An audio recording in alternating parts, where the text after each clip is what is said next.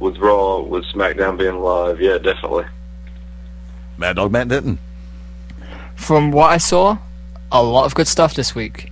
WWE did not completely screw the pooch on this one, and I'm happy for them. Well, knowing the fact that we had the pay per view Sunday, you had Raw Monday, a live Super SmackDown on Tuesday. I have to ask this question that's been bugging me ever since halfway through SmackDown on Tuesday. Did WWE make a huge mistake by dissolving the roster split based on the factor of how, what the television programming and the faces that we saw this week? Mabo. Dude, they've been crossing shows for what, a year, two years now? What does it matter anymore? Okay. Wick? Uh, I told you Wednesday, no, they don't. That just means that they need to have more matches. Absolutely, they need to keep it as it is, and don't make the fans seem like they're complete retards, like it's ran like two different brands because it is not. Okay. Denton? I can definitely agree. More matches, less filler. The only problem is, and from my perspective, you know, you're seeing the same faces every damn night. Granted, and we had this discussion earlier this week um, over on TBD. The fact is, they have been good about trying to bring up more people. Cesaro, um, the Shield, which is a collective entity rather than individual wrestlers. They're not doing singles matches. They're out there making complete appearances. And now with the advent of E. Langston or Big E. Langston, um, You mean Ryback, right? yeah, there you go. I was trying to remember because that was brought up the earlier this week as well. I mean, with them bringing up, I mean, I don't think it would hurt them to have an NXT showcase on SmackDown. I think it would help them. But by the same, Certainly w- uh, wouldn't harm the talent because they're not working in front of what is it, 200 people in Full Sail University. They're working in front of the crowds that WWE want them to work in front of. Yeah, and it work. It sometimes would work better just to go and put them directly onto television, top of the second hour or something like that, where it's always a questionable time slot to begin with. I mean, and granted, you know, they'll hopefully get more time than the. D- I was actually impressed with the fact that this week, tw- two times this week, the Divas matches have gone longer than two and a half minutes, and it's just considering the the skeleton version of the Divas that they have to work with. Um, It's a bad surprise for people who choose that time to use as a toilet break. It's like you leave for 30 seconds, you come back, ah, the Divas match is still going. Yeah, there you Oh, go. Should take longer. Unless, of course, you take a two break, and then by the same token, that could also end up. Yeah, you yeah. you might have missed the Divas match. I just, I, but I do have to give credit where credit is due. Tribute to the troops, the tenth annual, and the first thing they did was give huge credit. Michael Cole, of course, publicly giving huge credit to JBL for putting everything into motion, and Layfield, amazingly enough, playing humble and saying, "Look, yes, it was my idea, but Vince McMahon and the WWE deserves all the credit for the execution of the project." And first off, if I'm Layfield, I don't think I should be that damn humble because it was his idea. He was he was going over to the trip, uh, going over overseas to the troops long before, and there should be huge props paid his way because he was doing it long before it was fashionable. And Uh, yeah, if you want an announcer to actually have a, gim- a gimmick, but uh, an- announcer shouldn't have a gimmick. So I think he did good by being humble. He's not being a heel by doing that. It'd be different if he was one of these retards that uh, want to have a gimmick being an announcer. So Hmm. How many announcers have we actually known in our lives that actually have some sort of a so-called theoretical gimmick, allegedly? a lot, a lot. Art Donovan. One of them. You always want to know how much that guy weighs. As I look down at my ever-expanding midsection, I'll leave that line alone. One question. It's for the best. Yeah, this was one that I was actually going to put out on Facebook and Twitter. And I know it's spur of the moment, guys, but I'm going to hit y'all with it right off the cuff. And I'm going to go in reverse order on this one. Pick one person in the E, Impact, or ROH that you would give the Christmas present that they could use, the most utilizable Christmas gift. Who is it and what would it be? Denton, I'll go to you first. Hmm. Repeat the question. Pick one superstar from WWE, ROH, or TNA, the three major televised promotions. Right. Who is who would you get a specific gift for, and what would that perfect gift for that person Oh. be? Wow. Um, I, it would be John Cena, and it would be a giant pool of lava so he can have something to break his fall when AJ pushed him off the ladder. Wicked Nemesis. Man, I have no idea. Usually, when I ask a uh, weekly question, I usually let you guys know ahead of time, and it's put out there, so I don't spring. So I have no idea. I guess, uh, I guess a gun for Paul Lee to shoot himself in the head and commit suicide, probably. Mabo, your thoughts? Um, I would pick AJ, and the gift that I would, the perfect gift that I would give her would be my cockadoodle doo. That's why I went to Mabo last on that one. and Wicked, in case you didn't notice, yes, I even prefaced with I meant to put this out earlier, but I didn't do it, and I know it was catching y'all by surprise. Um, and for the What rec- about you, Eddie? Eh, me personally, actually,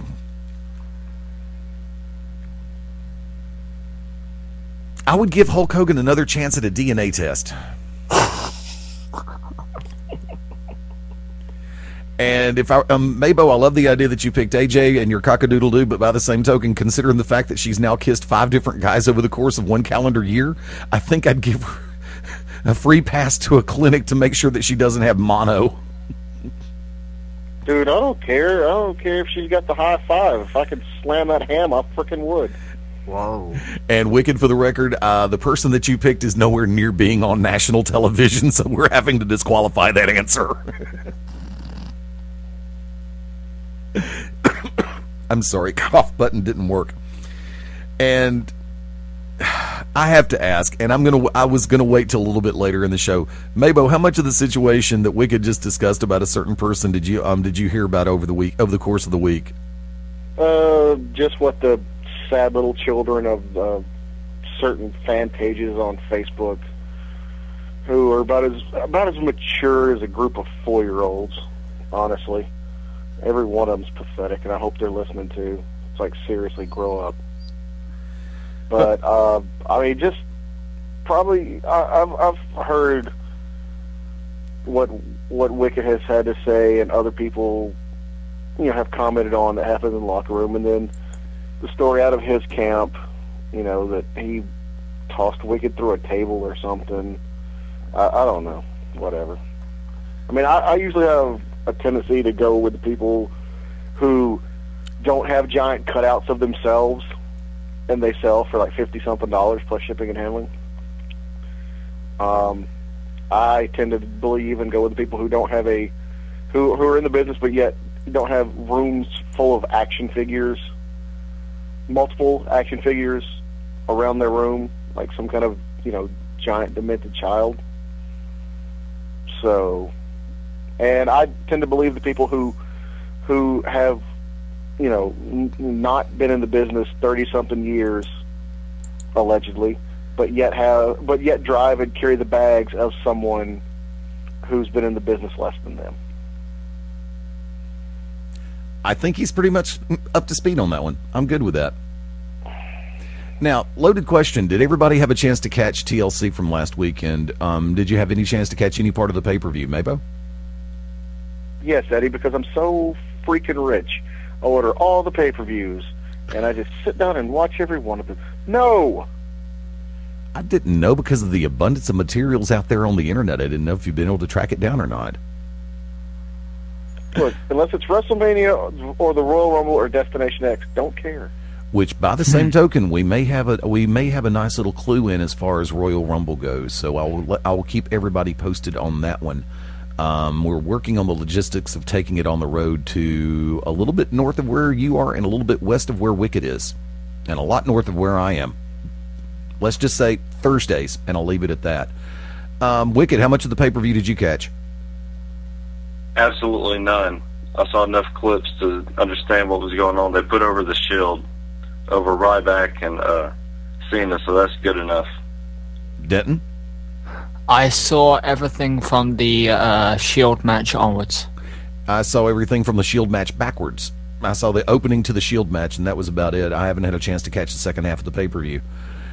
I sat back and I've said this um, for the duration of the week.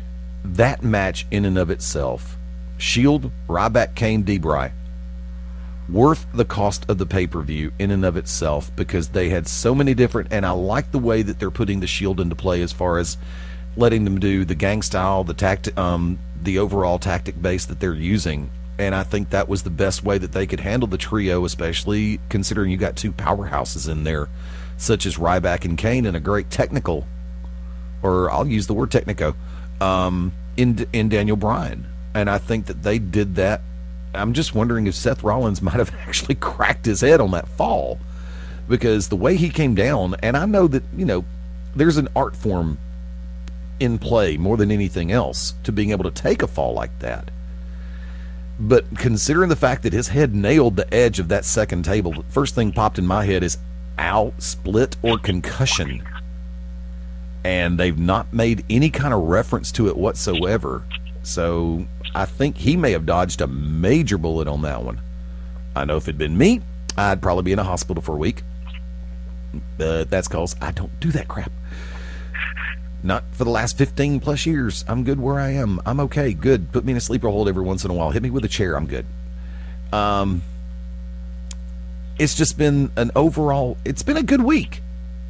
I'm just really of the ilk where when I made the reference to the roster split, I just WWE had this big thing, and then don't forget tribute to the troops on Wednesday, where you see primarily the same faces. And granted, yes, they're doing a good job of bringing up people little by little and bringing back people off injury.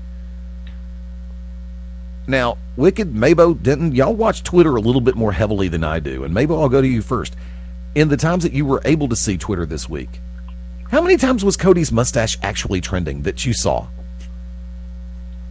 I don't ever recall seeing it trending. I know that it was a topic of discussion and there were chants for it, but I never saw you know, actual tweets. Wicked, did you did you see any? Of trending topics? No, I don't follow the trending topics. I follow what uh, people that I follow through my phone say, and that's about it. Uh, I don't know anything about those trending topics. Half the time they lie about them anyway, so it's all propaganda. There you go, Denton. I've been largely away from Twitter this week, so I've seen nothing. Yeah, I know. You don't respond to DMs either. yeah. This isn't this isn't a new fact. there you go. No, because okay, I mean, I have Twitter on my phone for Fast Eddie Layne and for Beyond Ringside, as well as um, two other accounts, and I don't really get a chance to see the trending topics that are coming up. So, you know, I know that when it comes down and everything is said and done, sure that there's some stuff that they're going to embellish. If ten people are talking about it, hey, it's trending now on Twitter, and normally you can get away with stuff like that because you can see a trend developing even though it's not featured on the left hand side of the screen. I just um because like I said, I stay on Twitter mobile than I do more than I do anything else, so I'll see stuff because of who I follow and the fact that I do try to make it a point to see what they're doing. Uh, you know, just find out because I know that y'all are normally on top of more stuff on Twitter than I am. So I get a chance to see, you know, some of the stuff that Mabo's talking about and Wicked and Denton that y'all are talking about and every once in a while I'll get a chance to pop in a one liner or something like that. It's just, you know, I don't get a chance to see it as much. Kind of like with Facebook. Um, it seems like the Facebook mobile timeline that I get is completely different than what I see on my desktop. So it's like, okay, what's really happening out there in the real world? Tell you what, we're gonna go. We're gonna take that top of the hour break a little bit early. Hang with us, and let me come over here to this. Yes. And I'll say we'll be back in five right here on Beyond Ringside Live. Hang tight. Who? Me in the future. I save a little money from every paycheck for Dave 2037 so he can buy anti gravity boots or a hologram Doberman. What are you getting Steve 2037? Steve 2037 will be just fine. Well, okay, but don't expect to borrow my anti gravity boots. Save something for the future. Put away a few bucks, feel like a million bucks. For free ways to save, go to feedthepig.org. That's feedthepig.org. This message brought to you by the American Institute of Certified Public Accountants and the Ad Council. This is awesome, Austin Creed, the smartest man in this industry called pro wrestling, the valid Victorian of this business. You are locked in to Beyond Ringside. While cutting molding with a 12 inch dual compound miter saw, while holding a newborn baby in your arms, when face to face with a congregation of alligators, with the ball in your hands and the entire freaking season on the line. There are a million places you'd never consider texting. So why would you do it while driving? NASCAR driver Kasey Kahne here, asking you to please stop the text, and together we can stop the wrecks. Brought to you by the Ad Council and the National Highway Traffic Safety Administration. Get the message at stoptextstoprex.org. This is Gabe Sapolsky from Dragon Gate USA and Evolve Pro Wrestling, and you're locked into Beyond Ringside. Hey, what's up? Holla at your boy. XOXOXO. You getting these texts? Question mark. Where are you? What are you doing? OMG, you are making me mad. You better text me back. I'm waiting outside your house. Relentless, aggressive texting is like sending an angry robot to deliver your message. When does the robot become dangerous? Let us know at that'snotcool.com. not cool.com. That's not cool.com. Brought to you by the Ad Council. This is Jim Cornette. You are locked into the show of all time Beyond Ringside. Remember when your neighbor found us naked in the car and the time some outdoor action got us kicked out of the park, getting frisky in the dark. I gave you eye poke. Think the dog is in the bed, do I smell smoke? You and me, we never give up. You and me, we never ever ever give up.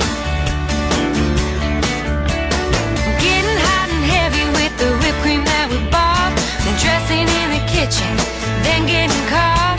So many things can go wrong, but we still can get it right. You and me, we're not gonna give up tonight.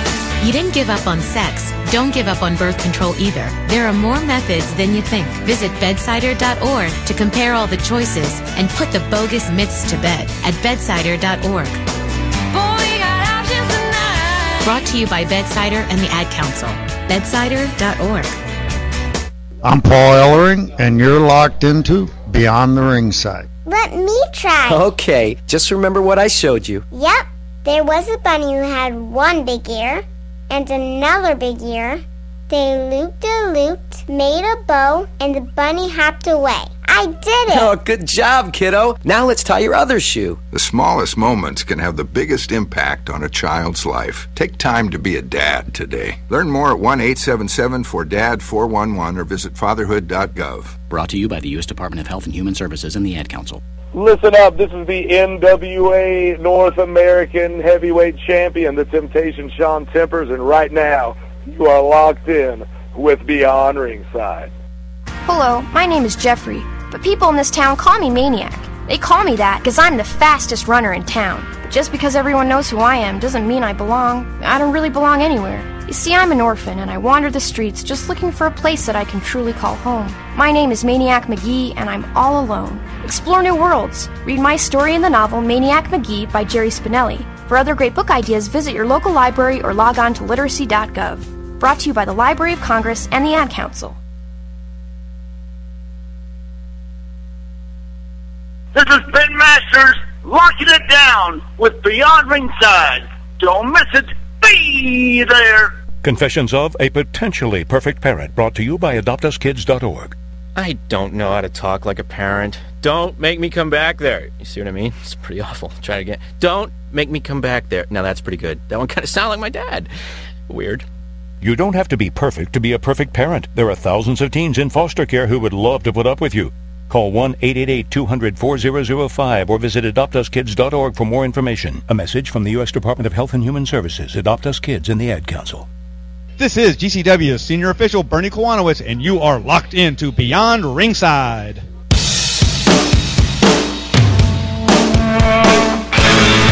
Hi, this is Joe Perry and Steven Tyler of Aerosmith for Red. You know, it's okay to rock and roll and party down. Just don't get in that 2,000 pound bullet when you're done and cocked. And please don't drink and drive. I'm the one that jaded you. A reminder that friends don't let friends drive drunk. A public service message brought to you by the Ad Council, U.S. Department of Transportation, National Association of Broadcasters, and RAD.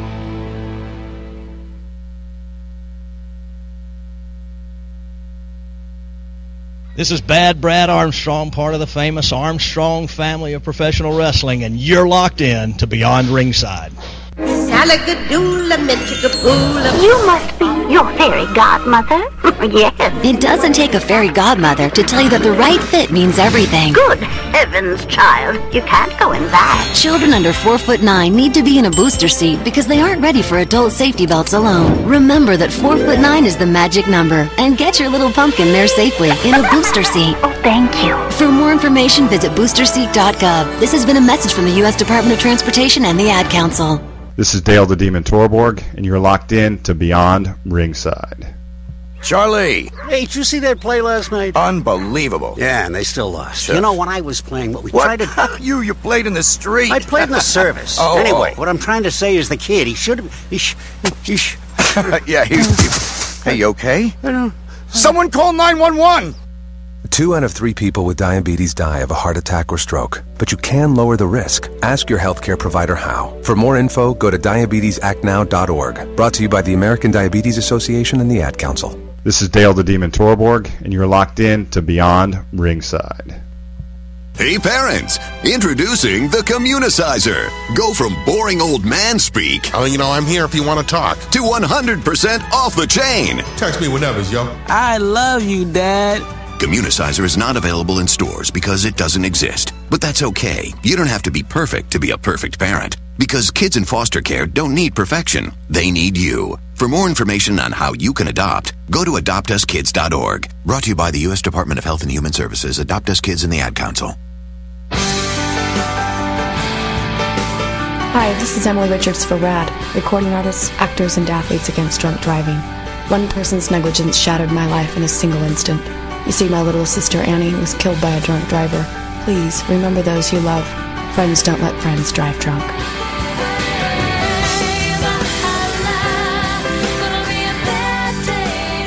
A public service announcement brought to you by the U.S. Department of Transportation, RAD, the National Association of Broadcasters, and the Ad Council.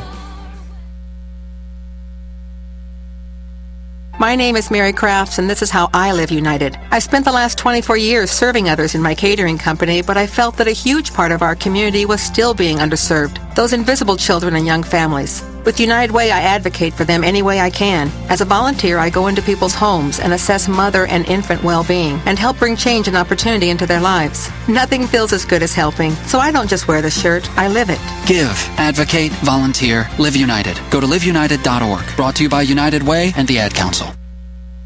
Hi, I'm Drew Brees, NFL quarterback for the New Orleans Saints, here with Bugs Bunny to remind you to get moving every day. Because when you get moving an hour a day, You fuel your body and your mind. so what do you like to throw around the football like Drew? Skateboard, This is Bullet Bob Armstrong. I'm Southern born, Southern bred, and I never miss Beyond Ringside.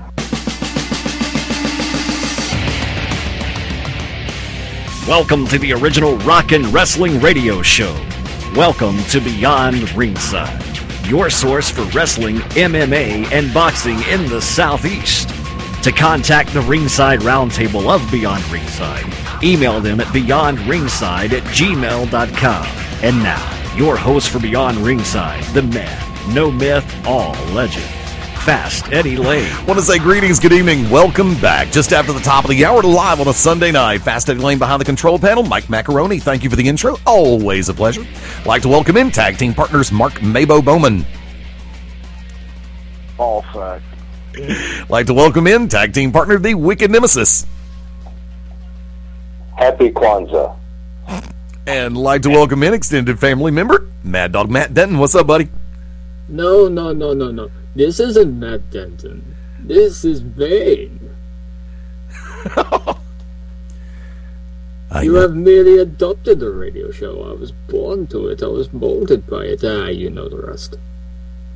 I know what perhaps, you're trying. Perhaps you're asking yourself why you would shoot a man before throwing him out of the plane. Nobody cared who I was until I put on the mask. I know when what you're. beyond ringside is in ashes, then you have my permission to die. Now you have my permission to die, ballsack.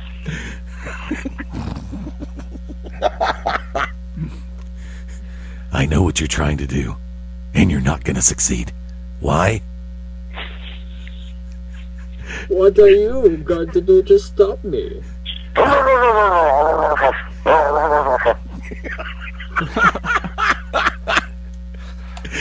Welcome to the insanity. God love it. And I, yes, I know what I've set myself up for. Folks, I'm going to I'm not even going to give a preface to this whole situation. I'm just going to say it's been a crazy day. It's been a crazy week.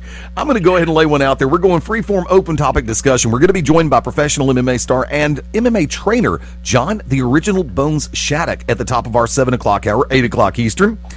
Uh, looking forward to that interview. He is one of the people who is going to be for positioning on the new MMA reality show called Warrior Island. Looking forward to hearing from John, finding out a little bit more about him. And also, there is a conversation in the works to where John Shattuck and former WWE star Dave Batista might just be hooking it up inside the cage in the world of mixed martial arts. Hang with us. Mr. Shattuck will be joining us right at 8 o'clock p.m. Central, um, 8 Eastern, 7 Central. And go figure, I screw up the time zones again. There you go. Don't even ask me what time it is in the UK. Um, Denton, what time you got right now? Uh, it's four minutes plus midnight. There you go. I finally get the time. Merry Christmas. and I have to work at 10, 10 a.m. Hooray. I'm so sorry. Merry Christmas. With the number of Be awards. the crankiest motherfucker in the shop tomorrow. Merry Christmas. Merry Christmas. Merry Christmas. Although I do get uh, get to wear a spiffy Santa hat, so you know, at least I look a little bit festive. It's You should get a smaller Santa. You should you should get a smaller Santa hat and put it on your dick. I could have used that today. I Matt, really could have used that today. Because I don't know if you've been following me on Twitter, but my pants split at the bus station, and I was on. He talk. He talks about the pants splitting. Therefore, I can play this. Let all hell break loose. Let them get after each other. Bring out every table, ladder, and chair in Brooklyn. Let's go. How did the table, ladder, and chair get up there? I have no idea. Let's get it on. Oh Eddie, my! you need to play- Eddie, you need to play the uh, the Ric Flair and John Cena uh, back and forth that we played Wednesday night. We need to, because I think that's really what anybody really gives a crap about. If anything, was the fact that Punk went out there and Punk went toe to toe with Flair. Flair's very used to to being given the promo and being able to get the top, but Cena kept undercutting him every time.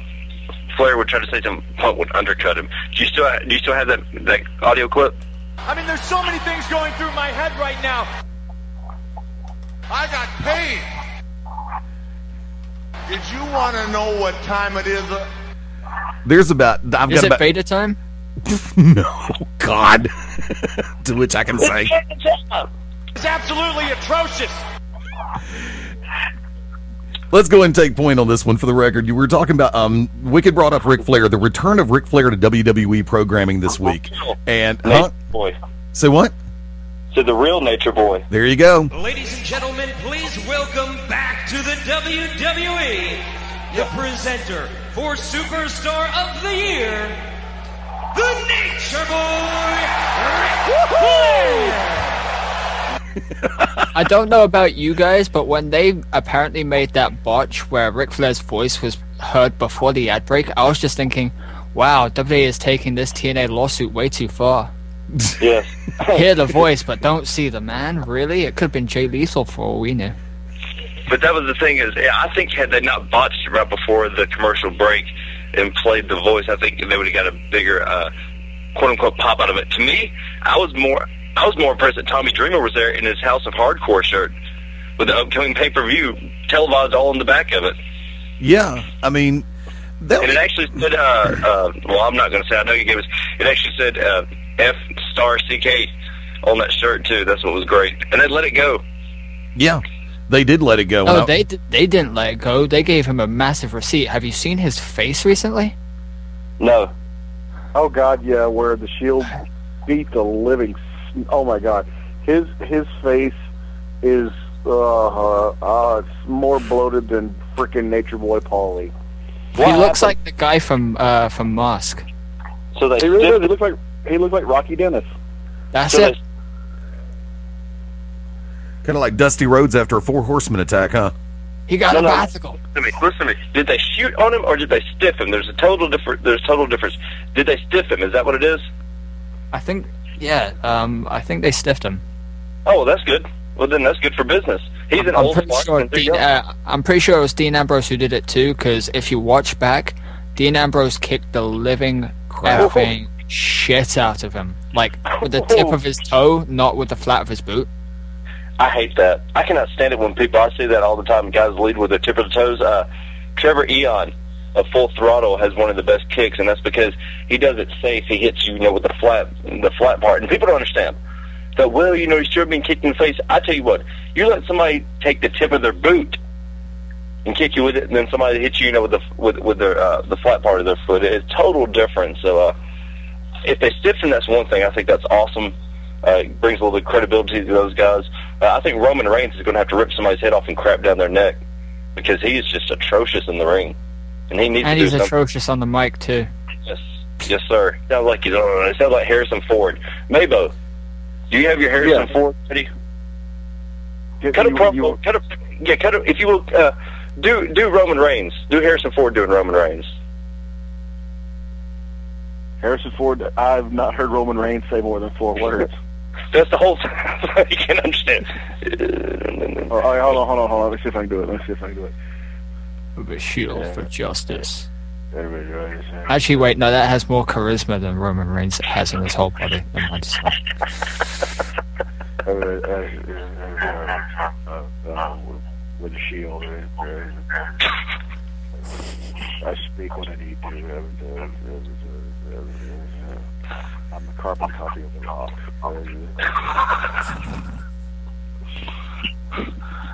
I didn't see that. But fair, it is. Uh, it is the Rock's cousin, so you know. Tell me I did not just see that. Now I gotta ask this. I gotta ask this question. We were talking about Flair and Cena. We're talking about every situation going on. By the way, maybe I love the. I still love the Harrison Ford. It's funny It's crap. And fine, it's funny as shit. There you go. I said it. Ha ha.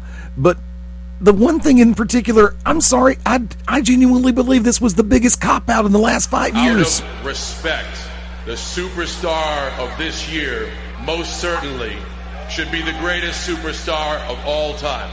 The two-time Hall of Fame Nature Boy Ric Flair. It is great to see you back where you belong. This, my friend, belongs to you.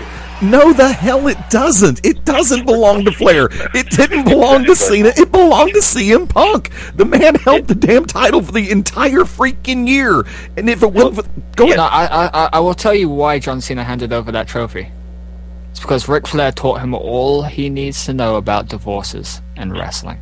And you know, hey, when Ric Flair when Ric Flair did his Hall of Fame speech, there was two people that he made sure to point out and and talk about uh, growing up before his eyes: Triple H and John Cena. John Cena did not need to be superstar of the year, as I said Wednesday night. It it was it, it is it is CM Punk, plain and simple. I love the fact that JBL was like, how can he not be? This entire year he was champion, and I love that. I'm glad that, that JBL has brought back some sense of uh, intelligence, some sense of you know uh, not really thumbing their nose at the fans as the WWE has that tendency to do. Yeah. But that was the clip I asked for nine minutes ago, Eddie. That's the clip I wanted nine minutes ago. Because John Cena, what John Cena does, John Cena keeps wanting to seem like he's going to he's going to turn heel, and then he'll do something ultimately just babyface. You're like, I hate that guy, but why? Why why do we hate John Cena? Because he's been forced down our throat, or is it because, or should we blame the business that nobody, nobody had enough charisma or, or work ethic to rise to the top, with the exception of CM Punk. There's a reason why Randy, Randy Orton's a piece of trash backstage, but yet he continuously gets all these pushes. Why? Because there was nobody. Cena carried professional wrestling. He made us all money. We No. had this conversation Wednesday night. No, no, no, no. Cena carried sports entertainment. You carried professional wrestling. I don't care. No, no, no, no. I don't care professional wrestling. People like like Phil Shatter, uh, Tommy Mercer, O'Hagan, those guys carried it. But it all starts at the top. As much as we want to separate sports entertainment and wrestling, still, of all all that you saw this year, almost every match with Daniel Bryan, almost every match with Antonio Cesaro, almost every match with Damien Sandow, almost definitely every match with CM Punk was a wrestling match. They were independent wrestling. You saw arm drags. You saw somebody working the arm, somebody working a body part. You would see hope, hope, hope, false, false, false, double downs, etc., etc. They went away from that quote unquote WWE style. The only thing is these guys know how to work a camera. John Cena is hated because he was pushed down our throats, I guess. He should not be. But for what it's worth, when he handed him that champion, when he handed him that slammy, he turned around and walked straight out. He didn't hesitate. He didn't bow down to him. He didn't do all the stupid crap. He handed him that slammy and turned around and walked up to the back and gave Ric Flair his moment to shine. And I love the fact you could see that CM Punk went out there off the cuff that that was his own because of Paul Heyman's reactions. He was generally getting a reaction out of Paul Heyman and he would go to say something to stop, and then it was good. That was what it should be about right there. And it's nice to know that that Ric Flair didn't get the upper hand because Ric Flair sometimes does. They kind of give him the promo of, oh, oh, oh, well, no, no, oh, I'm sorry, I'm sorry. You can't do that. The man on one leg went out there, and then to to go out there and actually do something with Flair, and for Flair to, of course, get what he wanted and put the figure four but, but Flair has to know. It's a Rolex, not a Rolex. Rolex. Rolex, whatever. Hold on, because it's right here. Did you want to know what time it is? Uh, but the diamonds on this Rolex make it kind of blocky for me. No, no, no. It really is a Rolex because he's he hasn't got enough money to buy a Rolex nowadays. Uh, all the alimony. TNA paid for that. They covered all his expenses. Come on now, you know that. Well, actually, he may have pawned the Rolex when he left WWE, and they could have um, uh, TNA bought him a Rolex. there you go. Was anybody else as uh, disappointed as me when Paul Heyman came out on the Tuesday SmackDown without crutches? Because he got put in the figure four and he sold that like a champ on the Monday night. I would have just loved to have seen Paul Heyman and CM Punk stereo crutches. No, no, no. Just... I would have loved to see Paul Heyman in a neck brace. so look what you did to me, Flair. Well, he put you in the figure four. Look what he did to me. You got to have a neck to be able to wear a neck brace, and unfortunately, Paul doesn't have one. I mean, okay, listen. Um, I know I said we were going to go open topic discussion. Matter of fact, let's go and take it from that point for the next thirteen. Um, well, hold on, hold on. I want to say my piece on on Ric Flair. Bring it on. Three have had your chance to talk. Okay. I personally think guys like Ric Flair, like Bret Hart, like Roddy Piper, like Snuka, like Iron Sheik, and all those old bastards, and I'm being serious now, they need to stay off television. Come in, do a Hall of Fame appearance, shake a baby, kiss a hand, whatever, but stop getting on the mic. Stop sitting there and going on your old man geriatric ramble that nobody gives a damn about. I don't care you know, you, you sit there and you sound so fake and, and wooden and cardboard, Bret Hart, or you sit there and you start to ramble like an idiot, Roddy Piper, or you make yourself look like a complete ass and do something stupid and say something you shouldn't say, Iron Sheik and or Ric Flair. I don't care. Hey, when yes. Iron Sheik does it, it's awesome. You take that well, back. Well, you know what? That's because Sheik smokes crack every right before he walks through the curtain. But honestly, I'm tired of seeing these old farts come out there and and just and ruin everything. When Flair came out, I'm like, oh great, here he goes. We're going to be 20 minutes, and he's going to strip down, he's going to dance, he's going to act like a retard. He's going to talk about molesting some little 14 year old girl, which he probably does every night anyway, because he's a nasty old little bastard. So allegedly. I'm sick of it. Allegedly. Allegedly. No, screw that. I'm not saying allegedly. I'm not saying that. Ric Flair has probably drugged and raped more underage girls than freaking half of the guys in the state penitentiary. Allegedly. I'm sick of him. I'm sick of seeing Ric Flair. He can choke and die.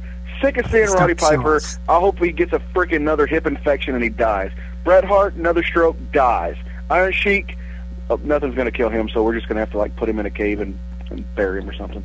So honestly, all you old farts who ramble and rant and rave and come out there and take the spotlight away because you just can't give it up because you're old and pathetic and you need a paycheck because your 18 wives have left you or the fact that you sit there and you're not making enough money going to these gymnasiums and trying to hawk your wares. And you know what? Honestly, nobody gives a crap. Nobody gives a crap. You know who gives a crap? You know who gives a crap? The, the marks in the locker room. That's who wants you there, you old pieces of trash.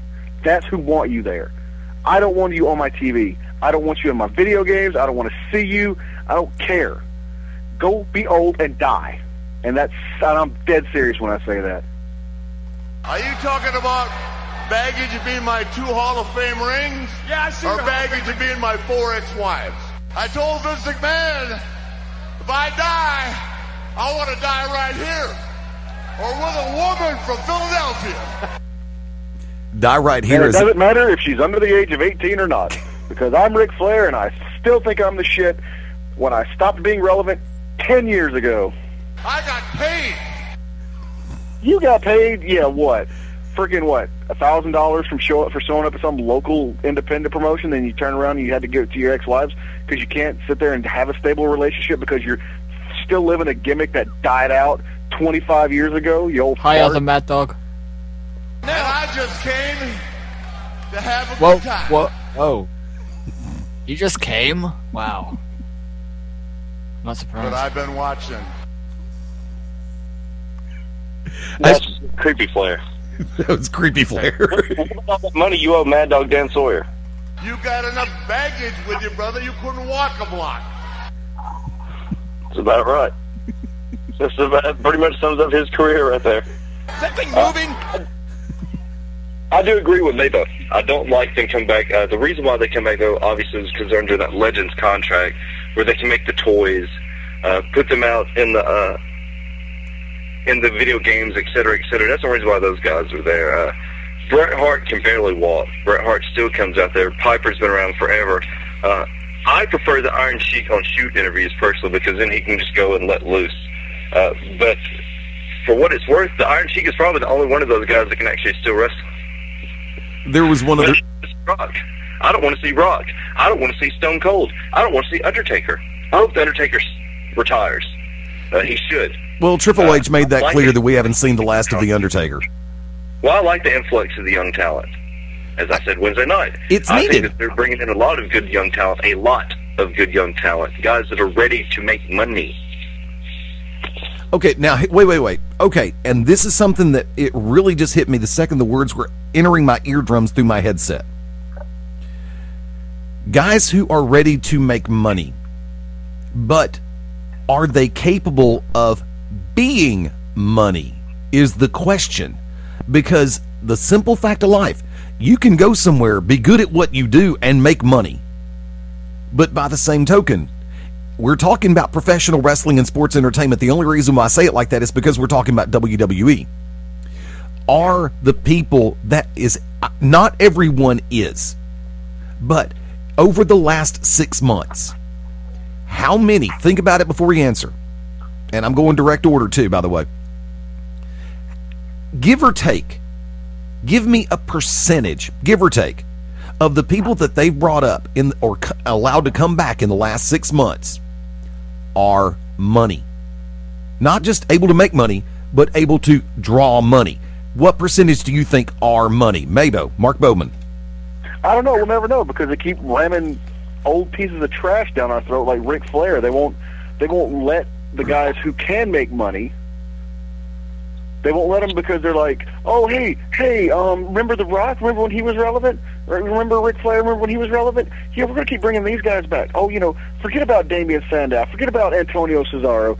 Forget about freaking, you know, for God's sakes, when he gets called up, Bray Wyatt. Forget about all these other guys who can make money you know, we're gonna keep. They, how long have they been uh, making plans to bring, you know, Dolph Ziggler full circle? And I'm not gonna lie, when when Dolph Ziggler first, you know, debuted, you know, was it four or five years ago? Yeah. Couldn't stand him. Couldn't stand him. He just did not like it. But you know what? He's grown on me. He's he's shown that he, you know, what he can do. But you know what? We'll never know his potential because as soon as they get ready to do something, oh look, we're gonna bring back the Rock. Blah blah blah blah. blah. Or oh look, here comes Stone Cold. Oh look, here comes Ric Flair. Oh look, here comes Bret Hart. You know what? At least, uh, you know, at least freaking Triple H cut his hair and has pretty much stepped away. Good for him. You know what? Shawn Michaels, with his freaking almost as a Cyclops eyeballs there, freaking he, you know, got his own little hunting show. He has stepped away. They need to stay away. Like I said, if you get inducted to the Hall of Fame, that's great. That's fine. You know what? You want to show up like on a milestone 1,000th Raw? That's fine. But I don't need every time WWE goes to Calgary to see Bret Hart or, or any of that crap. So we'll never know. I mean, honestly, I don't know how who's going to get the draw money because we always get shoved. Either we either get old ass legends shoved down our throats, or the ever uh, you know ever expanding John Cena drama that bounces from person to person to person to person. Okay. So I don't know. I mean, I, I guarantee you, given half the chance, you could. I, I honestly, say, I honestly think Antonio Cesaro could draw money, given half the chance. Damien Sandow. Oh my God, this guy is hated. He just needs the right program. I mean, I'll even go so as far as to say somebody who I can't stand, Cody Rhodes. Give him the chance, but they're never going to have the opportunities because you got your you got your old legends who keep coming back, and then you got the guys who nobody gives a crap about. I don't give a crap about Cena. Does anybody give a crap about Randy Orton? No. Is he hurt again? Is he hurt again this week? Oh yeah, yeah, he popped his shoulder out. Oh, so he pops his shoulder out and he's going to be gone. What about the little, you know, little midget Rey Mysterio? Is he there? Is he not? Is he there? Is he not? Is he doing drugs? Is he got bad knees, bad back, bad neck? You know, whatever. You know, uh, come on. These guys who should be ushering in younger talent are not. Before I go around the rest of the table, Mabo, let me ask you a question then. Based on the fact that this was the Slammy Awards episode, which is technically a special edition of Monday Night Raw, it's it's a it's the technically okay. I'm not going to say the Monday before Christmas because they are going to have one on Christmas Eve, but it's the last live episode before Christmas Eve. So technically, you can call it a special. You can call it not a milestone by any stretch of the imaginations, even though technically it's what I don't even know what the anniversary number really is. They say 25. I don't think so. Um, it may be though, but would that have been a good excuse because it is the Slammies to bring in Ric Flair to present Superstar of the Year, and then just you know, okay, if he's able to go with this little gimmick, go ahead and play him down to the ring with CM Punk, or just would it have been best just to go ahead and let him eh, present the eh, the Slammy for eh, Superstar of the Year and call it at that? What? Okay, let me ask you this. Yes. What relevancy has Ric Flair played in the WWE in the last calendar year? None. To even warrant him being on the show. If he were to come out as presenter and presenter alone, I would have been perfect with that. Did anybody else? Was there any other any other legends? Did you see any other legends come out? No. Did you see any any other than Triple H? Anybody else who, you know, non-main roster people? Mm, do presenter? No. Okay then. My point exactly. Why does why did Ric Flair have to be there? It would have meant more if he would have showed up in Charlotte. And I don't mean in his daughter because I know he probably does that too. The sick freak. So, uh, I ain't saying allegedly. I ain't saying allegedly. That old bastard. I'm saying probably it had a- for you. I don't saving your care. ass. He's covering our asses legally. Hey, he can cover yours, but he ain't covering mine. Let WWE come after me. What are they gonna take? Absolutely nothing. Go ahead. We're gonna throw They're me in gonna jail. take your name. Okay. Go ahead, Just take change my name. yourself to May Dash Bow instead of May underscore Bow. Go go ahead. Go ahead. I don't care. I Okay. have nothing left to lose. We got I have Tim. nothing left to lose. Ric Flair probably sat there and spied on his daughters and spanked his old uncircumcised wiener. Freaking woo! Look at my naked daughter. Woo! I'm gonna bust him out. Woo! Okay, we But got you know Ti- what? we got Ti- Ric Flair. Ric Flair. It would have made more of an impact if he would have came out, maybe someplace more relevant, like Charlotte. But to bring him out as a presenter for the Slammies, no point whatsoever. Honestly, it should have been him that had the heart attack, and you know what? He should have died. And the nature boy is back in town. And, uh, and about fifty percent of the women, the female population, is not going to have herpes. There you go. All right, we got seriously. I'll take it to two minutes. I'll give um, Wicked. Come on in. Your thoughts on the previous discussion? Uh, about Nature Boy giving people herpes? Uh, No. uh, no, there's only one person out of everybody that's come out in the last six months to a year that can do anything, and he's actually been out before, and that's Ryback, when he skipped Sheffield, whatever. Nobody's ready. None of those guys can make money right now. They shouldn't. If they were to come out and make money right now, you know what that would mean? the WWE dropped the ball. But you look at some of the talent's been in there in the last four or five years. Cody Rhodes can make money. Uh, Dolph Ziggler can make money, obviously. Uh, let's see. Kofi Kingston can make money. The Shield together can make money. Now, if you were to take them apart, they they cannot. Daniel Bryan can make money, obviously WrestleMania.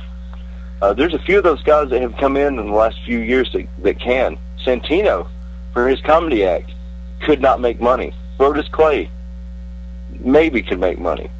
But they've still got more guys coming up. Obviously, maybe we'll talk about, I'm waiting on Bray Wyatt to be called up as well. But uh, there's some of those guys that have been in the last four or five years that can make money. Wade Barrett can make money. There's a few of them, and they have already. And, and Rey Mysterio is paving the way for people like Sin Cara. Hell, look at uh, ADR. ADR's only been in the last few years. He's made a lot of money for WWE. True. Okay, real quick, Matt Denton, your thoughts? Percentage of people that they- Allegedly. allegedly,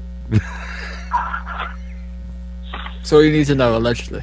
Uh, allegedly, the no, the percentage of people that WWE's brought up in the last six months, so to speak, that that can draw money. Allegedly percent. Allegedly percent. Congratulations! You win the Idiot of the Day award. See, I would say what? I'm welcome. Probably one percent out of all the You're people. welcome. Yes, I am welcome. Thank you. No, but seriously, I mean, okay, tell you what, let's go and take the bottom of the hour break. Folks, we'll be back in four and a half right here on Beyond Ringside Live. Hang tight. When planning your next party or special event, insist on the best. Full Range Entertainment is a professional entertainment company providing a full range of services. From professional disc jockeys and MCs to catering and photography, when the details of your special day must be perfect, call us first. Wedding receptions, corporate parties, school functions, birthday celebrations, and more. We also have Birmingham's largest selection of karaoke tracks available. With over 40 years combined experience, Full Range Entertainment can provide you with the talent and professionalism you need and deserve to make your next event one you'll never forget. For more information on the full range of services we offer, call 533-HITS. That's 533-HITS. Or check us out on our website at fullrangeentertainment.com. Chris, you're not acting like a grown up in our relationship. Am too, am too. There's your comic book collection, the race car bed. I'm young at heart, but I put money into my 401k every paycheck. I'm taking control over my financial life, and that feels pretty grown up to me. Put away a few bucks, feel like a million bucks. For free ideas and easy ways to save, go to feedthepig.org. That's feedthepig.org. Are those footy pajamas? This message brought to you by the American Institute of Certified Public Accountants and the Ad Council. The odds of becoming a signed artist and having three number one albums? One in 100 million. The odds of going on to win six Grammy Awards? One in 1.4 million. The odds of this performer having a child diagnosed with autism? One in 110. I'm Toni Braxton, and I encourage you to learn the signs of autism at autismspeaks.org. Autism Speaks. It's time to listen. Brought to you by Autism Speaks and the Ad Council. It is with sound mind and body that I, James Fredericks III, after fighting with all direct family members for decades, leave my entire fortune of $32 million to the one friend I had in the end, the package delivery guy, Matt Songer. Woohoo! Yeah! I had a feeling about this. Uh huh. I'm rich. Oh, this cannot be happening. Actually, it's not happening. What? What? And it never will. I don't get it. There aren't even people here. That's just one of those murmuring sound effects. Seriously? Listen, if you want to have money in your future, don't rely on luck. Put 10 bucks away each month. Cook once in a while instead of eating out. Okay. Pay down your high interest credit cards. Right. Small changes today, big bucks tomorrow. So, no inheritance. Uh, no. Go to feedthepig.org for more free ideas. Feed the! Org.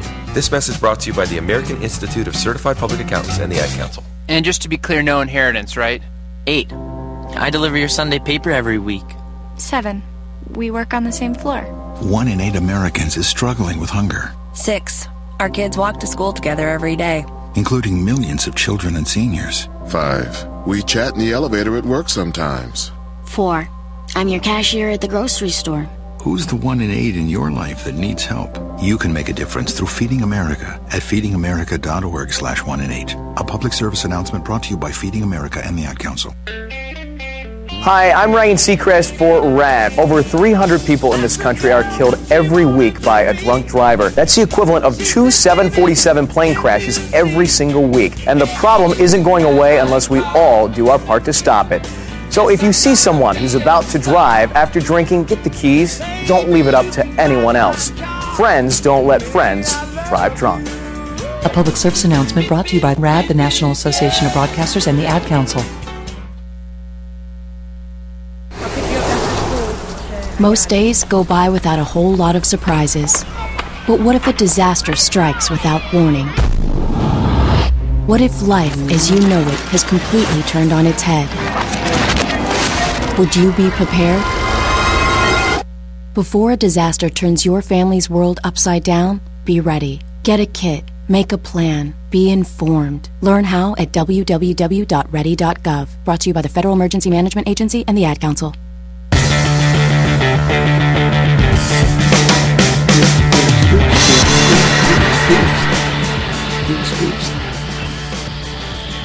Say it again. Boobs. Okay. Boobs, boobs, boobs, boobs, boobs, boobs, boobs. Welcome back to Beyond Ringside Sunday night. Fast Eddie Layne behind the control panel. Mark Mabo Bowman, come on back. All the old wrestlers need to die. Wicked Nemesis, come on back. Yes. Mad Dog Matt Denton, come on back.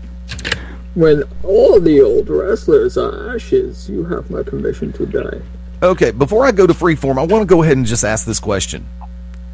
With the number of people, including the critics, who gave so much praise to the Cena Rock match from Mania, with everybody who had all the positive commentary, oh, damn, Dwayne looks good, damn, Dwayne looks crisp, Dwayne looks like you hadn't really lost that much of a step. If the person can actually go in the ring does that detract from the fact that they've been that they have that legend status? Because remember when we were talking about Rick Steamboat, and Rick Steamboat made that all too brief comeback and showed that he could still go, even on a part-time schedule. Does that? mean- I mean, do we include them in that group that's coming out just to hog the spotlight? Mabo, I'll throw to you first. Well, I don't know who sat there and said that Rock looked good and blah blah this, blah blah that. Um, I just rewatched that match the other day because I still have Mania saved on my DVR, and I'm sorry, but half seems about halfway through, Cena started carrying the Rock. The Rock was just gas. Uh, so I don't know who sat there and said he never lost a step and blah blah blah. Just for some reason he, I mean, he was the one that was soaked with sweat, not Cena. They don't make steroids for cardio. Huh? They don't make steroids for cardio. Exactly. I mean, if you go and look, you know, like when he when they did the Survivor Series build up, he wasn't in the ring that much. I mean, this was this was a match. This was an actual match, and for people to say, "Oh, it looks like he didn't lose a step or anything," um, you're full of crap.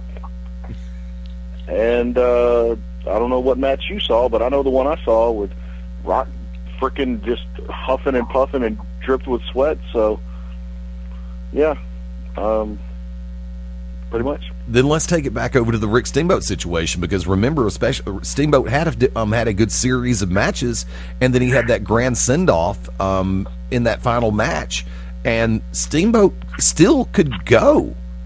I mean, granted, not at his 1986 pace, not at his 1991 pace, but by the same token, the guy still looked crisp in the ring. Everything from the arm drags to the drop kicks to all the to everything else he was doing, he still showed. I mean, he showed that it's like, uh, I stepped away. Why? I mean, do you include somebody like him in that particular run? You know what? I think Ricky Ricky Steamboat and Rock are two di- very different cases. Because when you see The Rock nowadays, it looks really overly choreographed. Like Rock's always looked choreographed. Overly, overly, overly choreographed. It's obvious that he's been uh, practicing that same routine for the past couple of months in preparation for one match. Right. Whereas Ricky the Dragon Steamboat, it looked like he didn't lose a step. Okay. Tell you what, I'm going to go ahead and leave it at that vantage point because we got 20 minutes left in the segment. John Bone, the original Bone Shattuck, will be joining us at the top of the hour. Um, and I'm going to go ahead and take it freeform all the way across the board, guys. Whatever's on your mind, take it from this. Um, take it from there. Let's have some fun with it. Mabo, you're first on deck. Um. All right. So for those who saw the tribute to the troops at the end, I I, I can't say that. I mean, because it was a paycheck, and maybe they did it because it was a tribute to the troops, and the they did it out of the kindness of their hearts and everything. But other than Santino, honestly, the Usos, primetime players, Yoshitatsu, Justin Gabriel, how much of complete asses do you think they felt like coming out dressed as reindeer in the antlers, pulling a sleigh? I mean, come on. Seriously? Those are so, that, that's some top. That's talent right there. That is talent. And you had him pulling the sleigh. And I expected from Santino comedy bit, you know, no big deal. But for real, I, I just that that that bugged me. That that you know, it just bugged the hell out of me. Who do you throw to first? I don't give a damn. Okay, Wicked.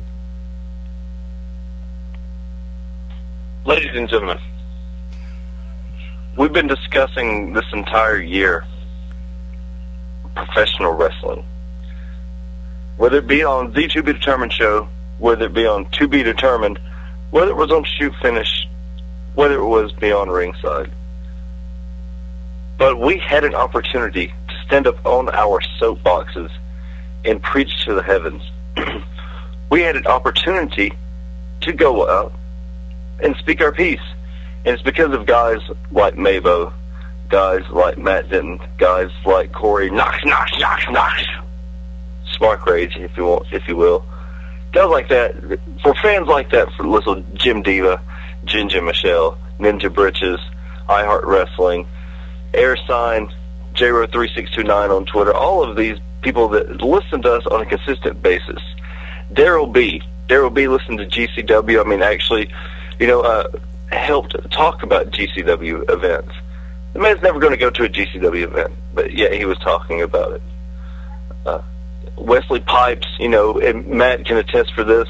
Uh, the guy was on the road, and he would make sure that he listened to us religiously wherever he was when we were on shoot finish to be determined or the to be determined show. But yep, and he was a very staunch defender of us as well. Yes, he was. And you know, but they were fans. You guys were fans. Uh, Stan Grubb, you and I, and a few guys left PW twenty four seven and made TNT-radio.net. We went over there and we, we did what we had to do. And with with the exception of Joey Image, we we had. Sorry, sorry, head. don't don't sully this radio show with that guy's name. Come on. With the exception of that, I mean, we had some some great times on there, but but still, the fans were the ones that started that, and Tasha and I went along with it. Uh, we were able to go up and were able to speak our minds, able to cuss, and and to have a pretty senseless, raging experience. But we were able to educate.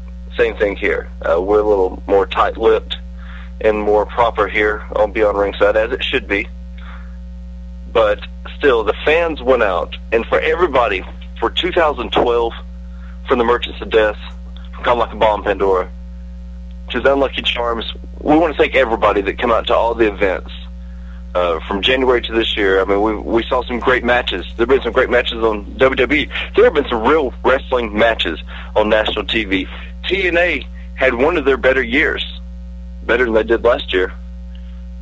WWE brought back wrestling. Triple H let some guys go. They had managers there for a little bit. Abraham Washington's stupid ass messed that up. The NWA having complete turnaround, just gutting everybody, kicking out Bill Behrens, Bob Trowbridge, etc. Just everybody gone. With NWA being dropped left and right, with the controversy that's going on right now with Casey Carlisle, still the fans were there. Fans went out and supported wrestling. And it was a hell of a year. People were scared. that December 21st is going to be the end of the end of civilization. We talked about it on this radio show. It, it, that was not. It's the end of a cycle. Totally different. Through the London riots, fans were there. Uh, what was it, Livewire or was it Shoot Finish that you broadcast, Matt? I think it was no shit, just shoot. No shit, just shoot. There you go, right there. I mean, it was it was there, but still, there were fans. So to all the fans out there, thank you for making this one of the best years of wrestling, professional wrestling, professional wrestling.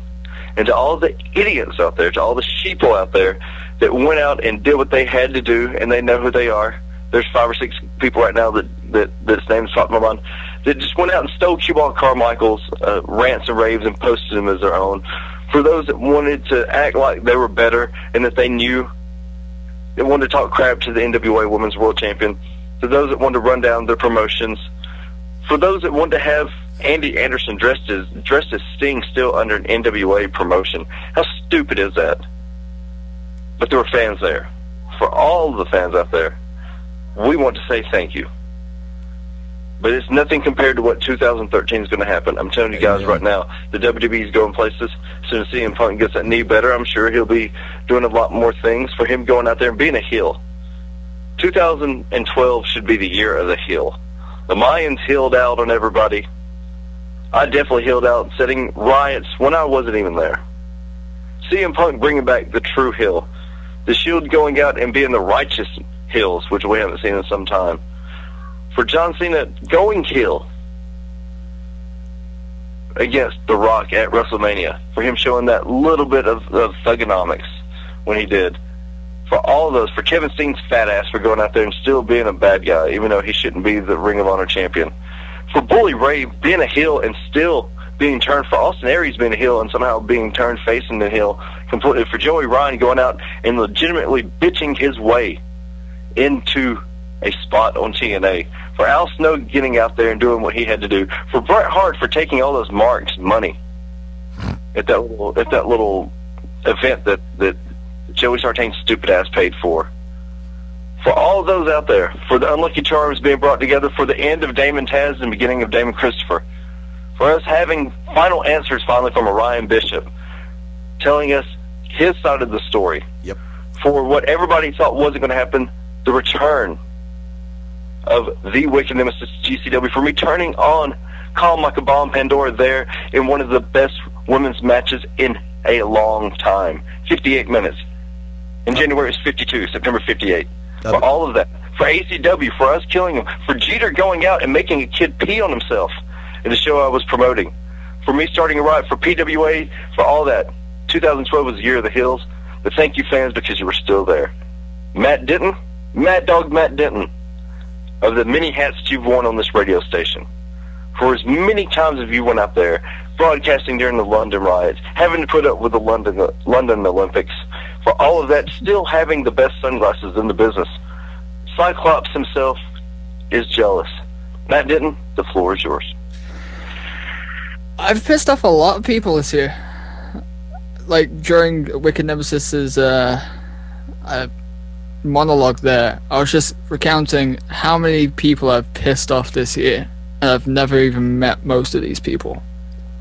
And most of this has come straight from TNT Radio and PW24 blah, Radio. Um, it, it's a. It, I started off the year with legal threats from a, a certain um. I don't know what to call him anymore. Ketchup putting in Corvette, lying motherfucker. And it's just dawning on me that it seems that my career ish as internet radio producer extraordinaire is coming to a close at the end of 2012 with um, me finally getting a job. I got a job! Um, and now um, with Stan Grubb gone it looks like TNT Radio will be no more, but it's been a hell of a ride through PW24 blah, through to TNT Radio. No matter how many people I've pissed off, whether it be a, a pudding fucking motherfucker, uh, Jerry Sorrentino, that one guy, what's his name, Jim Mills, who threatened to have wrestlers boycott to be determined because I did what I was told. Casey Carlisle, uh, I I don't care that I'm dropping her and shit, but Casey Carlisle told me as soon as I can, first chance I get, hang up on this dude. First chance I got, I hung up on the dude and he got pissed off. And I took the heat for that. Just because she doesn't like talking to him. um You know what? It's been a fun ride and I'd like to thank everybody who's been a part of that, whether it be Wicked Nemesis, whether it be Eddie Layne, despite the fact that it was only for a few weeks. Mabo. Did I say Wicked Nemesis? Yes. Um, Wicked Nemesis, Wicked Nemesis, Wicked Nemesis, Stan Grubb, uh, Angel Orsini, Amber O'Neill, Brian Miller, Johnny Sorrow. Uh, who else did I work with this year? Tasha. Tasha Simone. How can no? I was leaving Tasha till last, so she'll get pissed off at me. um, yeah, Tasha Simone. Uh, who else did I work with? Yeah, loads of fucking people. I'd like to thank everybody who's been a part of it, uh, whether it be fans, guests, and uh, you know. Long story short, thank each and every one of you for everything, especially uh, if you if you've allowed me to piss you off. So that's what I do best. I'm a douchebag. Tell you what, we're going 10 minutes before the top of the hour. Um, we know that not everybody's going to hang with us through the top of the hour break. And once again, as stated, John, the original Bone Shattuck, will be joining us right after the 7 o'clock se- um, top of the hour Central Time, 8 o'clock Eastern. Um, let's go and take it into shameless plugs, and I'll go ahead and se- um, we talked about it off air. Mark Mabo Bowman, I'll throw your way first. I'm, I'll be around, dude. Okay. Wicked. Uh, first of all, Mabo, tell me, tell me that, that Hollywood Babylon has not been great lately, has it not? Oh, it's been wonderful. It's been wonderful. Everybody go out and check out Smodcast for Hollywood Babylon. Uh, are we still having uh, to be determined uh, this this Wednesday? Is this gonna be like the last one? Would you want to do it on the Christmas? Day after. It's the day after. Is it the day after? Oh, right. Actually, you know what? I can show up for that because I don't work the Thursday, so I can show up on the Wednesday. Yes. So there you go. So this Wednesday will be the final The To Be Determined show on TNT-radio.net. But never fear, it won't die. I will be buying domains for uh, each of the shows from TNT Radio, so it will live on.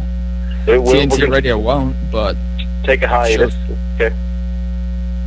But I'll ladies and pick gentlemen, like justiceforwickednemesis.com sounds like a good pick for a domain for to be determined. what did you say? Justice for Wicked Nemesis. I want to tell you guys this. Thank you all, for real. You can follow me at Wicked Nemesis on Twitter. Uh, Unlucky Charms and Wicked Nemesis and Merchants of Death all have Facebook fan pages. Uh, the YouTube has been very active as of late, as everybody knows. I, I know I've lost a lot of followers. Between my gun control talk and my uh, YouTube uploads, it seems that I've lost some followers on Twitter, which that's fine. If you don't want to follow me, that is quite all right. Uh, for those that are checking out uh, the YouTube pages, uh, myself, uh, I know that Beyond Ringside has one, and also the To Be Determined show has two for right We now, right? Yes, we have two. Yes, we have two videos, not including all the ones that I've been stripping down from past archives. Uh, the ones that Eddie's been archiving, the one that you archived. Eddie's been streaming the UStream, and uh, he'll upload it to YouTube, and I just strip it down for because for some reason my YouTube pages always my views always got 40 or 50. Like I have videos of Eddie talking about stuff, and it has what 60, 70 views, and Eddie's had two. I don't know how. but, hey, Congratulations, Eddie. Not a You're problem. the views. Now y'all know I'm a megalomaniac. I'm I'm a megalomaniac, and I like for everybody to talk about me, whether it's good or bad. So I appreciate the stroke of the ego when when people go up and and you see those videos. But for what it's worth to everyone, thank you. If you don't want to follow me, you follow any of these guys. This is a hell of a roundtable, and you will see everything from uh, from from Mabo's rants and raves to Matt Denton and Cranky Dent to Facety Lay being political to Fast Eddie Layne every once in a while. You know, dropping the f bomb on the Two Bitter Terminal show, which was great. I did that once. But, but remember, but remember, I do have a Charlie Chaplin mustache, so you better watch out what you get from me. Eddie. Uh, real quick, Matt Denton, shameless plugs. Uh, you can follow me on Twitter at Words from Prism. Uh, find me at my own website, FromPrism.com. Um, yeah, that's where you're gonna find me from now on. With TNT Radio gone. Ah, I might shed a tear. Just a one, though. Well, on a for, uh, for what it's worth, and on a for the record basis, um, the door is always open. You're more than welcome to join us here on BR. You know, your extended family, and the door, like I said, you always have a seat. Thank you. I appreciate that. You know, I'll, I'll be sure to abuse that every once in a while. Well, bring it on. The door, like I said, I wouldn't say it if it wasn't true. I wouldn't say it if I didn't mean it. And, you know, I'm looking at the factor that in our realm, tomorrow is Christmas Eve, and of course, Christmas Day is officially going to begin for us in about, you know, 29, 30 hours. And I just, I've looked, I don't know if you've checked out dot .com lately, beyondringside.com. I've changed our gallery to what I affectionately call the promo wall.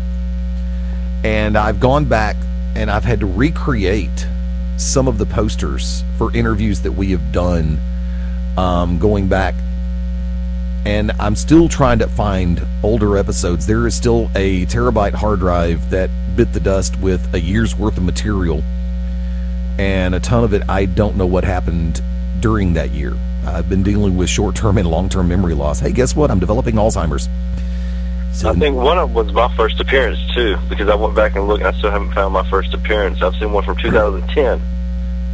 I think I still have that on mini disc, and I've got to go through those because Mabo, you remember I used to record the mini disc when we were um, doing the Fox and Hound episodes. I want that one because Mabo was man. We had fun that night, and Bishop actually started talking towards the end. But uh, yes, I really would like to have that. But thank you guys for that too, by the way. Not a problem. Look, every, I genuinely appreciate the forum that we've had, and I busted my ass in a labor of love for this to to create this back in the original run in 97 through 2000 and beyond and then bringing it back uh, a few years ago when we did. And whether it be with the Machine Guff Grayson, Hitman BDC Ryan Adcock, The Man Called Evil, Adam Smith, The Vanilla Study Understudy, Rogers Alley, um, Doug McGarry, Mike Wood up at the Alabama Radio Network, um, Late Night Lloyd over at Z92.5, and then carrying it through with Andy Hudson, Chase Pearson, um, David Smith, Tom Canterbury, Justin Rosenberg, Kurt Bloom, um, Barefoot James out of Houston, and then to the current incarnation where it's been Brooks Logan, then Paul Wells, and Mark Bowman, Wicked Nemesis. And we've had special appearances from Matt Denton, Mark James, Stan Grubb. Um,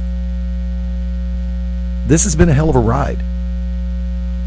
And God willing, it's just getting started. And I know there's names that I've forgotten, and I'm really sorry if I did. I don't try to forget. I really don't. There's only two people in this world that I've genuinely tried to forget. and the bitches keep One of showing Joey up. Image. I don't know Joey, so I can't say that.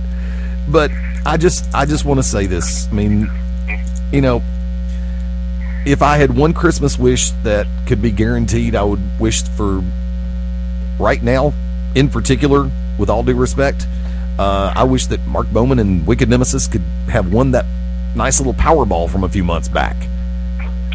Because if there's anybody in this world who deserves a million plus dollars right now, it's it's Mabo and Wicked. I wish we were X Men and Days of the Future Past. That's what I want. There you go. Hey, I wish we were in Blackest Night right now. That way, Wicked could have his black um, Green Lantern ring, and Mabo could have the color that he wanted to pick from. Because I can never remember which color that he said he wanted to pick that day. No. Oh, I look good in a crystal pink sparkly thong. Star Sapphire Mabo. oh God. I think I just vomited in my mouth. I think I just had a mental image of Mabo in a crystalline, sparkling pink thong. Shoot me, you son of a bitch! I think, I think maybe more of a uh, indigo tribe, though. There you go. We'll go with that. We'll go with that. Knock. Knock. Now, you heard me make the reference. Um, also, I can't forget Mike Grogan, Benny James, uh, Jimmy Anderson, um, who've come in and sat in on the show every once in a while. And we've been working to. Um, there's a couple people we've been talking to about coming on board on an every once in a while basis. And I'm going to go ahead and say this: next Sunday night, we will be back on the 20 on the 30th. Um, I was going to say 29th, but that'd be wrong. It'd be the 30th for us and I have invited back in at different times. It's not going to be a clusterfuck where everybody hits all at once. So I'm inviting everybody to come back in at different points for their high spots and the low moments of calendar year 2012. That was the year that was. So definitely keep your eyes and ears open on BeyondRingside.com, our Facebook fan page, Beyond Ringside Live, um, Facebook.com slash Beyond Ringside Live, the Twitter feed at Beyond Ringside. Because, like I said, God willing, this is only just the beginning. Folks, we're headed to our top of the hour break. When we come back, MMA fighter and trainer, John, the original Bone Shattuck, right here on Beyond Ringside. Stay tuned. Hi, this is Ozzy Osbourne. For many years, you know I've had a drink problem and I'm, I'm trying to battle that problem every single day. But one thing I don't do, I don't drive my car when I'm drinking. I get someone to drive me. Do not drink and drive. It's the stupidest thing. If you drink, just don't drive. Not only are you going to hurt yourself, you may hurt some other person, and you wouldn't want that on your conscience, would you? A public service announcement brought to you by the U.S. Department of Transportation, RADD, the National Association of Broadcasters, and the Ad Council. Ranger Station, Ranger speaking. Hi, um, I want to report a bear sighting. Location? My front door. Oh, really? And did the bear knock or use the doorbell? He used the doorbell. It was Smokey Bear. Now we're getting somewhere. Yeah, my husband was burning leaves in the yard. He just came inside for a second. Not a good idea. Smokey said the same thing. He said to never leave a fire unattended because it could lead to a wildfire. Yeah, but if it's too hot to touch, it's too hot to leave. Smokey said that too. We go way back. I knew him when he was just a cub. Oh, how cute. Rangers are many things, ma'am, but cute isn't one of them. Have a nice day. If you see someone in danger of starting a wildfire, step in and make a difference. Because 9 out of 10 wildfires are caused by humans. Brought to you by Smokey Bear, the U.S. Forest Service, your state forester, and the Ad Council. Learn more at smokeybear.com. Only you can prevent wildfires. Hi, I'm Drew Brees, NFL quarterback for the New Orleans Saints, here with Bugs Bunny to remind you to get moving every day. Because when you get moving an hour a day, you fuel your body and your mind. So what do you like to throw around the football like Drew? Skateboard, ride a bike, or dance in your room. Just move it your way. And be a player. Get up and play an hour a day, Doc. Check out how to be a player at letsmove.gov. Head online to get tips on great ways to get moving every day. At letsmove.gov. A message from the Ad Council and HHS. This is Angel, half of the Double Trouble Morning Team on Distant Thunder Radio, and you are locked in to Beyond Ringside. Confessions of a Potentially Perfect Parent brought to you by AdoptUsKids.org. I know more about cooking dinner for a party of 12 than about packing a lunch for a 12 year old. I know kids like things like fish sticks. Fillets, I get, but sticks? Maybe we can just compromise on mac and cheese. Can you make that with Brie? You don't have to be perfect to be a perfect parent. There are thousands of teens in foster care who would love to put up with you. Call 1 888 200 4005 or visit adoptuskids.org for more information. A message from the U.S. Department of Health and Human Services, Adopt Us Kids, and the Ad Council. Ladies and gentlemen, this is Bill Behrens, and you're watching, you're listening, you're experiencing Beyond Ringside. And you are a better person for it. Trust me. Foreclosure is hard on every member of the family, but your family is not alone. If you're struggling with your mortgage, there is help. To learn about the government's Making Home Affordable program, visit makinghomeaffordable.gov or call 1-888-995-HOPE to speak to a HUD-approved housing counselor. It's free of charge.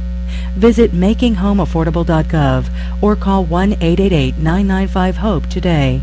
Brought to you by the U.S. Treasury, HUD, NeighborWorks America, and the Ad Council. Hi, this is Joe Elliott from Def Leppard for RADD. Planning on going out and having a party? Great. Have a lot of fun. But do me a big favor and don't blow it. Always choose a designated driver. Remember, music lives. You should too.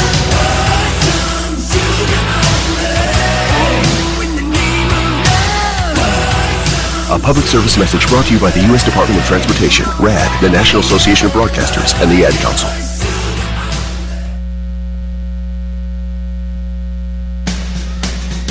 Hello, this is Robin Zander. Hello, this is Rick Nielsen from Cheap Trick for RADD. Some people think it's fun to drive drunk, but that's unacceptable. Be smart. If you drink, don't drive. Think ahead and choose a designated driver. Remember, music lives, and so should you. Oh.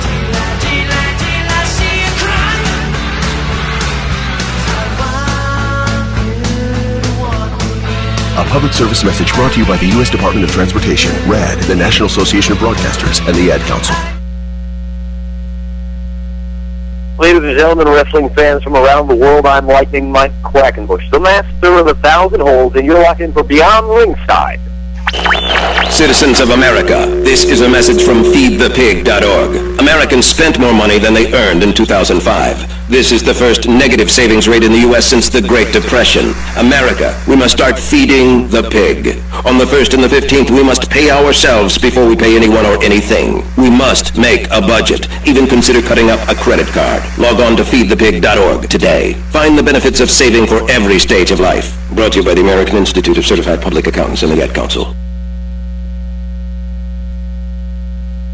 This is your boy, Miggity Miggity Mabo, and you're locked in to Beyond Ringside. There once was a boy wizard whose name was Larry Smarter. Larry, why weren't you in Professor Dinky Doodle's mythical creature classification class? Well, I'm taking Algebra 2 in a foreign language. Oh, so you can talk to unicorns? Not exactly, unless they're French. Larry wanted to go to college, so he visited knowhowtogo.org to find the classes he really needed. Getting into college doesn't happen magically. Learn more at knowhowtogo.org. Brought to you by the American Council on Education, Lumina Foundation for Education, and the Ad Council.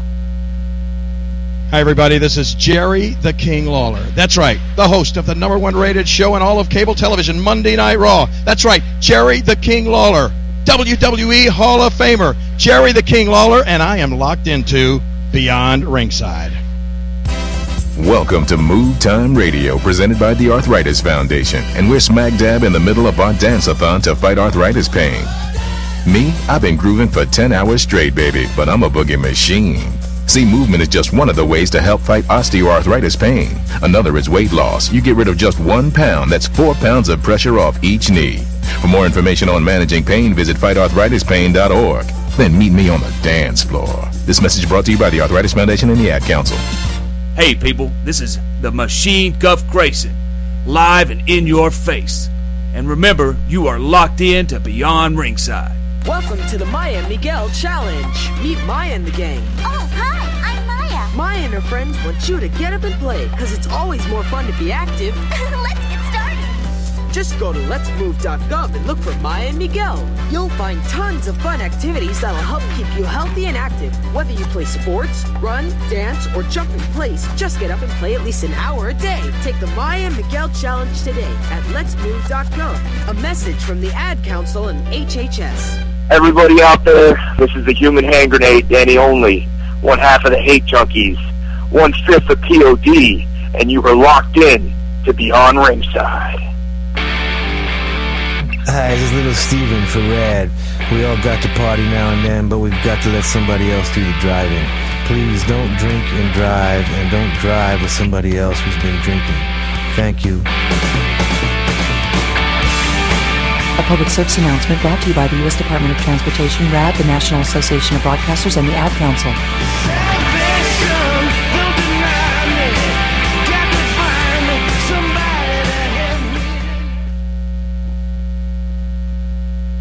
This is Angel Orsini. This is the human hand grenade, Danny Only. This is Dirty Dutch Mantel. This is Liz Savage. This, this is Vinny O'Brien, 2010 Golden Glove champion. This is Gabe Sapolsky from Dragon Gate USA and Evolve Pro Wrestling, and you're locked into Beyond Ringside. This is Dan the Beast Severn, the only Triple Crown champion in the UFC history, and you're listening to Beyond the Ringside. You better pay attention, otherwise, I know where you live.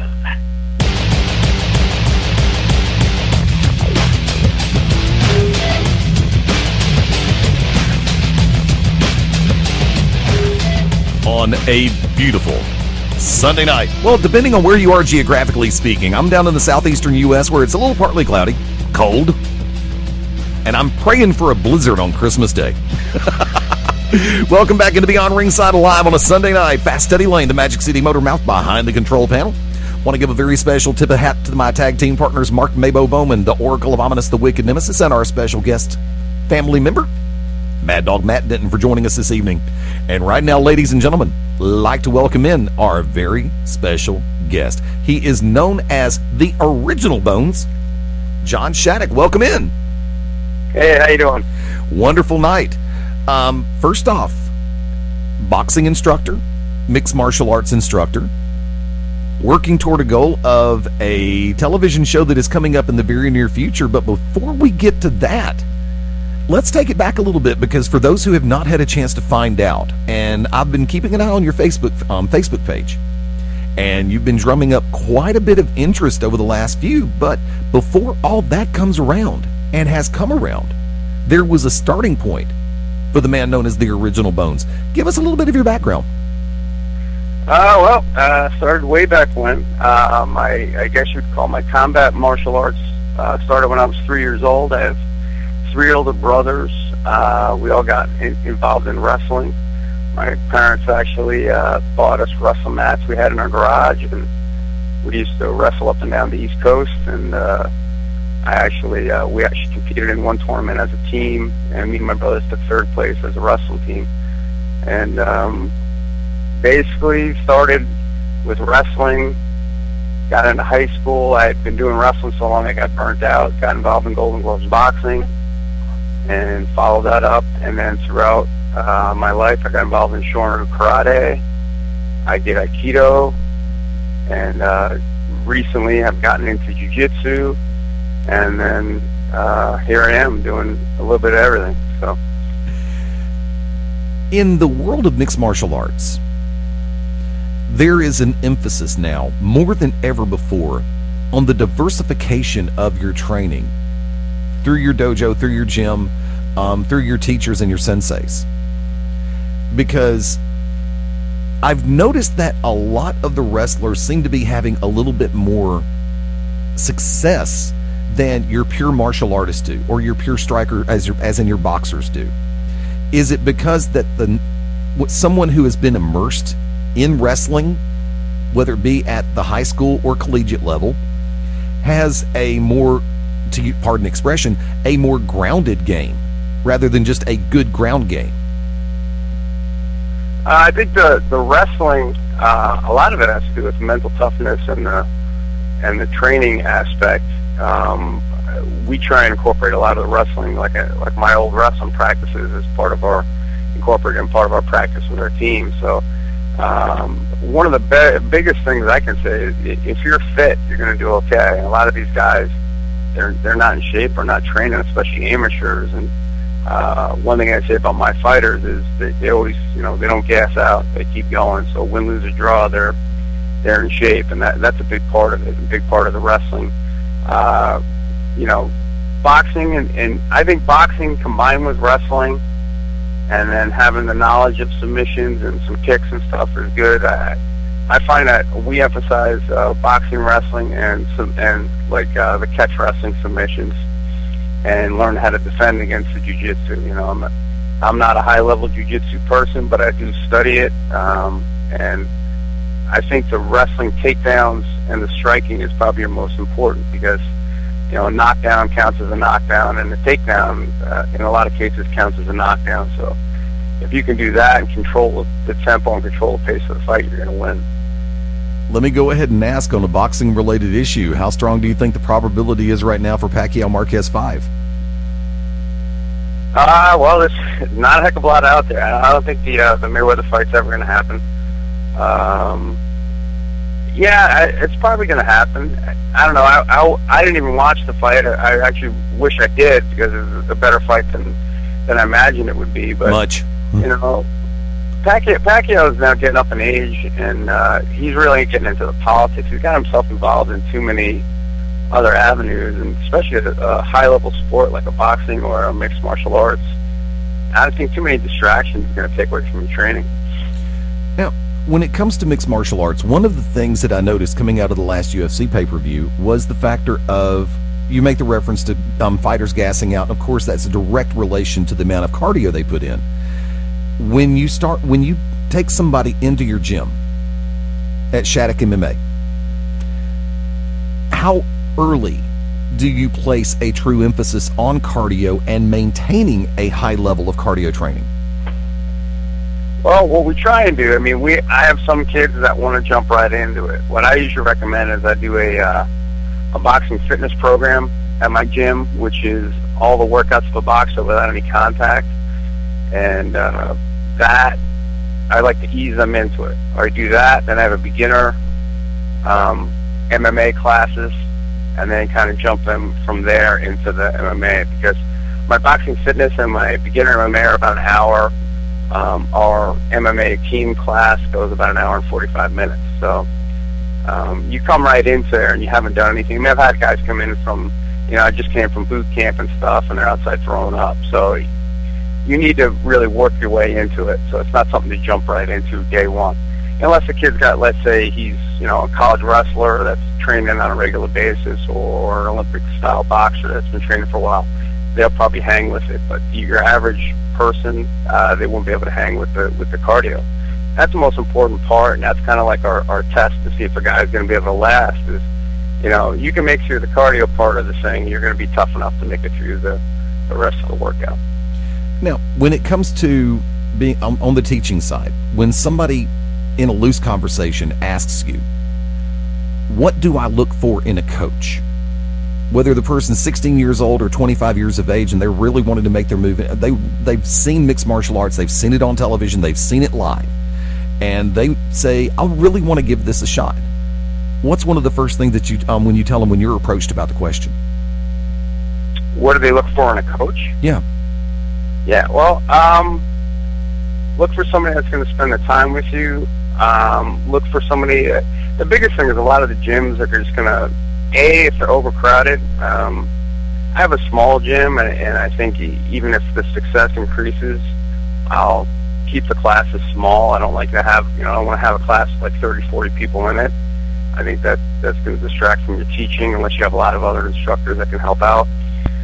Um, but the way I learned uh, boxing was incorrect. Me and my brother were kind of thrown into the waters right away. We would spar right from day one. You know, no warm up, no cows, no drilling. We basically would get in the ring and spar every day. That's the uh, the gentleman that was teaching us had fought for the world title before. So I'm thinking, you know, this guy knows what he's doing.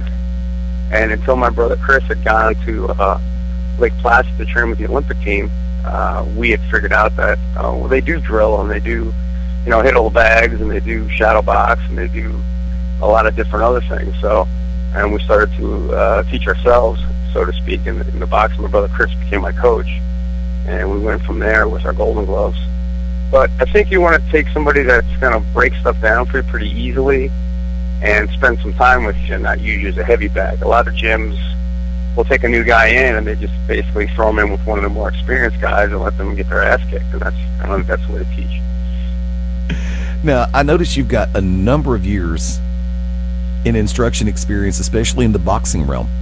Um, tell me a little bit more about the white collar boxing. Uh, well, basically, it's all the workouts of a box without any contact. It's actually uh, my brother Chris had developed it before it became hip. Um, we had uh, he was the owner of a health club, and actually, me and my my my two other brothers worked for him at the, at this health club and he had developed a way of training people to box without, you know, getting contact. And the, con- the concept was get a boxer's body without getting a boxer's nose. And we had developed that. It's basically you develop footwork, develop the, you know, how to throw the punches properly, teach them how to hit the different bags. You go on a time basis in each station, just like doing a fitness circuit, but you're right. doing a bag circuit. And not only are you teaching people to be fit, but you're actually teaching them a practical self-defense. So you, you may come in a room and you know, like take my class, and you may not know who's an actual competitive boxer and who's just taking the class. I mean, I have guys that are lawyers and doctors and people taking the class alongside with guys that are MMA fighters. So Now, as I was doing a little bit of research and a little bit of learning, how many how many different certifications have you been able to accrue? Uh, well, uh, a variety of different ones. I'm actually uh, working on now getting my catch wrestling certification through ISWA, uh, which unfortunately we had a seminar scheduled uh, in a coming week and, and it got canceled at the last minute because we had bad timing with the holidays. But um, I'm certified in a, in a variety of different, uh, between boxing and fitness over the years. Been involved in the health and fitness industry for over 25 years. Um, I used to bodybuild, you know, with boxing, with wrestling, um, jiu-jitsu. I'm a uh, purple belt in Gaijin-Ryu jiu-jitsu, so I've been involved in a lot of different types of, between martial arts and different athletics. Sounds like you have a tremendously diverse portfolio, sir. Well, that's that's the idea, you know, that I'm looking for. That's going to hopefully help me. You know, I I think it's it's better to be um, able to do a little bit of everything than just be have you know be a one trick pony. Like you could be a phenomenal striker, but what happens if the guy takes you down? Right. A great wrestler, or you know, like a Demian Maia is phenomenal in jiu-jitsu, but he's had to learn how to do his striking down the road. He's actually a lot much better striker now, but when he first came to the UFC, if he could take you down, you were dead. But if not, you're you know he was in trouble. So there's uh, there's something to be said about knowing a little bit of everything. Therein lies a question that some it just really dawned on me a minute ago because I've had a chance to interview a number of different people from the world of boxing and the world of wrestling as well as the world of mixed martial arts. And some people allude to a natural progression in this day and age, whereas 20 years ago it really wasn't that prevalent. It was more of in its infancy as far as mixed martial arts go. And it was an entirely different style than what you see right now in, per se, the Ultimate Fighting Championship or even in Strikeforce, Bellator, or the other promotions. For you, with the wrestling background and going into the gold, into the boxing and going Golden Gloves, what originally drew you to the world of mixed martial arts? Well, uh, the the truth of the whole story. Uh, well, I was always a, I guess, a fan of it, but when UFC One came out, I was in the process of being a competitive boxer and uh, having uh, aspects of hoping to go maybe Olympics or go professional. So, wasn't really paying attention to MMA. Um, I had stayed in the health club business, stayed with the teaching the uh, fit box class, and down the road had gotten to a point in my life where I put on some weight and I was trying to figure out a way to get myself fit and hadn't done any wrestling or grappling in years and had found a jiu-jitsu studio uh, about uh, five miles from my house, which I didn't know existed. So uh, I went and spoke with that gentleman, and he said, well, if you teach my guys how to box, you can train jiu-jitsu for free. Nice. So I started doing that and getting into that, and then I got us involved in a league that actually ended up becoming defunct and never happened. But there was, if you remember the IFL, they had a there was a company called the IBL that was trying to do a uh, amateur boxing, uh, amateur MMA teams, where similar to um, they had the Silverbacks, and I, I think Gracie had a team. They had a couple different teams in there, and uh, they were trying to do teams against teams, and it just never happened to develop. But that's how I started getting into the MMA. So I was taking uh, my wrestling and boxing knowledge. Uh, one of my um, my assistant coach has a background in, in uh, kicking and striking. I mean, I did a little bit. Of, I actually did competitive kickboxing, but it's not my forte. So we combined some kickboxing. We picked up some Muay Thai classes, and just evolved into. I started. Uh, I got to a point where I was training with the guy with the jujitsu, and he asked me. Um, he was going to go to another part of the state and said that I want to come with him. And I said, "Oh, not really. I want to train people here." And he asked me if I wanted to take over the lease. So I took over the lease, and hence Shattuck MMA was born. And that's the story of me getting involved in it coaching it. And over the years of teaching it, and as part of teaching it, I got to grew to love it, and then decided, you know what, I I've competed in boxing, I've competed in wrestling. Most recently, I've started, I've done some jiu-jitsu tournaments. I've done kickboxing, but I've never done it in an MMA setting. So I wanted to do that so I could, you know, tell the guys that are fighting MMA, hey, I've been there too, even though I've kind of been there in different aspects. So that's where this all comes about. Uh, a friend of mine told me about the the uh, Warrior Island coming up, and I decided that yeah, it might be a good idea for me to throw my hat in the ring. Which leads me to the lead, which leads me to the crossover question. As you're listening to Beyond Ringside Live on a Sunday night, 24 after the top of the hour, Fast Eddie Layne being joined by MMA fighter and trainer John, the original Bones Shattuck. Making the move into Warrior Island, this is actually becoming a very the groundswell is definitely there because it is different from what you're seeing on the um, on national television right now whereas the fighters have the best of it all when it comes down to the the latest equipment and everything else. Warrior Island appears to be taking it back to, and I don't want to use the word throwback, but I want to take it back to the roots of training before all the electronics and all the different machines really were prevalent on the scene. And is that one of the things that caught your attention? The fact that it's more grassroots? That the, the uh, availability. We're training with uh, some of the top people that are not only they're top people, but they're actually in my age demographic, so they'd be the best to get advice from to uh, on how to train for you know these younger fighters. You're going to have uh, Dan the Beast Severn, who have actually become friends with over the years, and uh, me and him were, were at one time going to do a, a MMA match, and that fell through. And I think we have talked about possibly doing a grappling match against each other uh, for charity. And then we have um, Ron Van Clief, who was in UFC one, who I have a ton of respect for. When he, I think he, I believe he fought in his 50s, if I'm correct. Um, you're going to have Bob Sapp, who I've actually gotten to know uh, over the years on Facebook, and um, Relson and Renzo Gracie, who are just phenomenal martial artists. So, and I've I'm understanding that Frank Trigg and BJ Penn are somehow going to be involved in the show too. So there's just a lot of celebrity power, and you know, if I could be able to train with all those guys and actually be able to experience MMA fighting, would just be awesome. Now, the overall premise, premise of the show is this going to be a reality TV show competition style, or what's? I mean, you have a little bit more functional knowledge on the show itself than I do. What's the um, what's the original um, style for the show?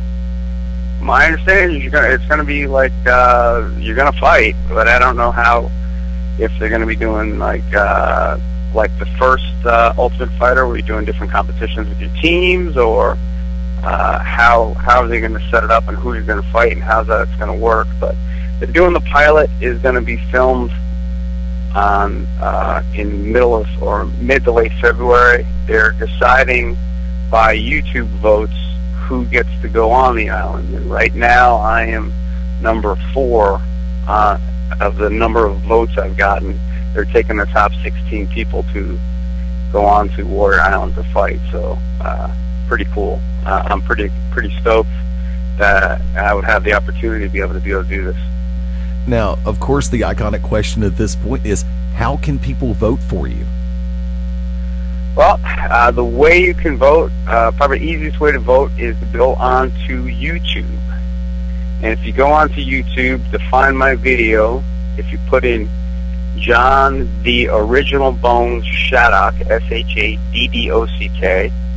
and Warrior Island, that video will pop up. Have a picture of me with a heavy bag, and you just click on that thing. And if you you need to have a YouTube account, and then you just hit like on the YouTube account. And this is something that a lot of people don't quite grasp because we also um, we have a channel on YouTube itself, but we also broadcast live via UStream, letter UStream.tv. And a lot of people go, well, I don't want to set up an account on there because I had to pay something. No, you don't.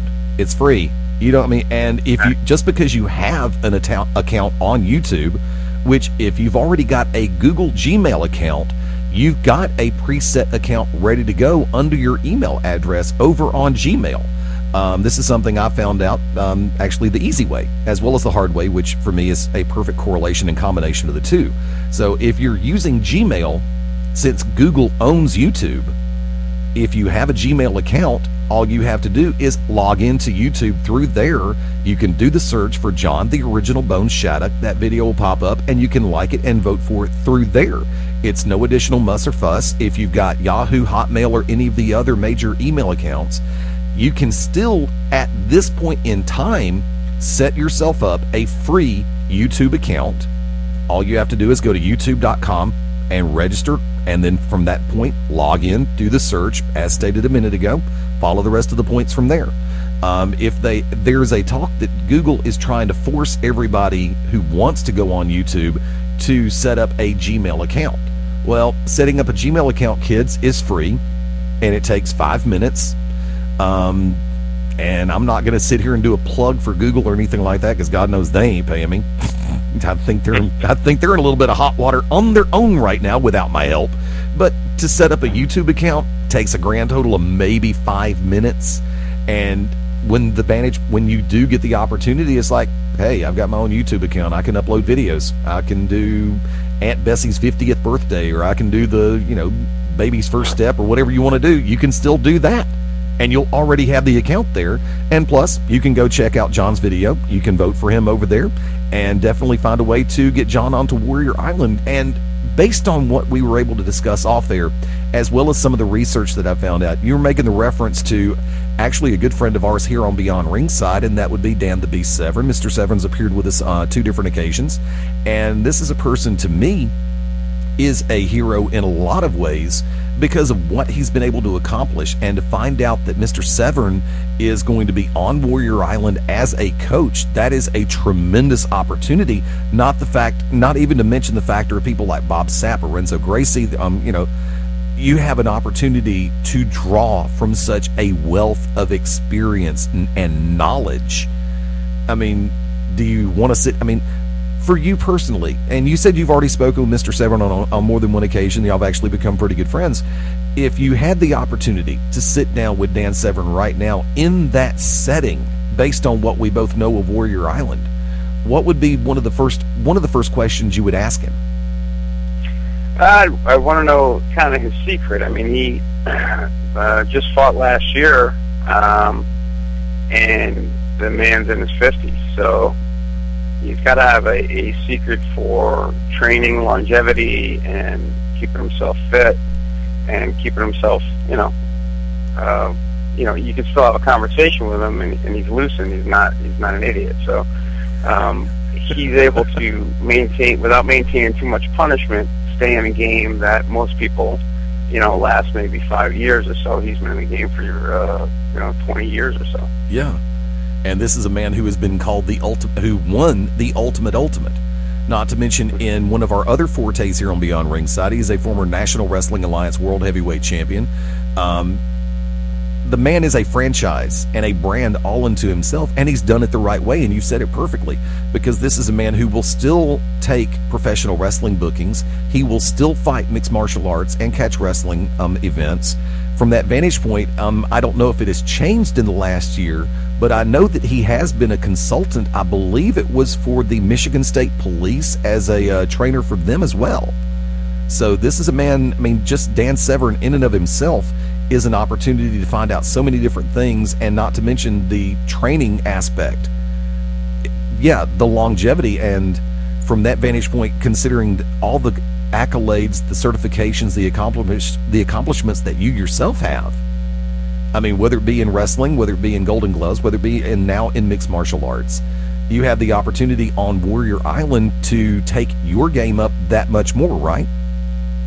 Oh, absolutely. I mean, by no means do I have, uh, you know, ambitions to be fighting for the next 10 years. I know that's not a reality. So this is going to kind of be uh, the island will be my shot, and I'm going to you get on the island, you sign a contract. I'll probably sign a couple fight contract with Global Fight, uh, Global Proving Ground, and then you know it's going to be a short career. What the main thing I want to be able to do is become a better instructor because that's where my future is, uh, and grow my my uh, mixed martial arts studio in Little Sykesville, Maryland. And, you know, I'd like to be able to hang with you know right nearby us is well not real nearby us, but about an hour from us is you know people like Lloyd Irvin, who has a like an empire, basically a big a lot of different studios. I'd like to be able to compete with the likes of him and have some guys possibly in Bellator and the UFC someday, or Global Proving Ground. So there you go.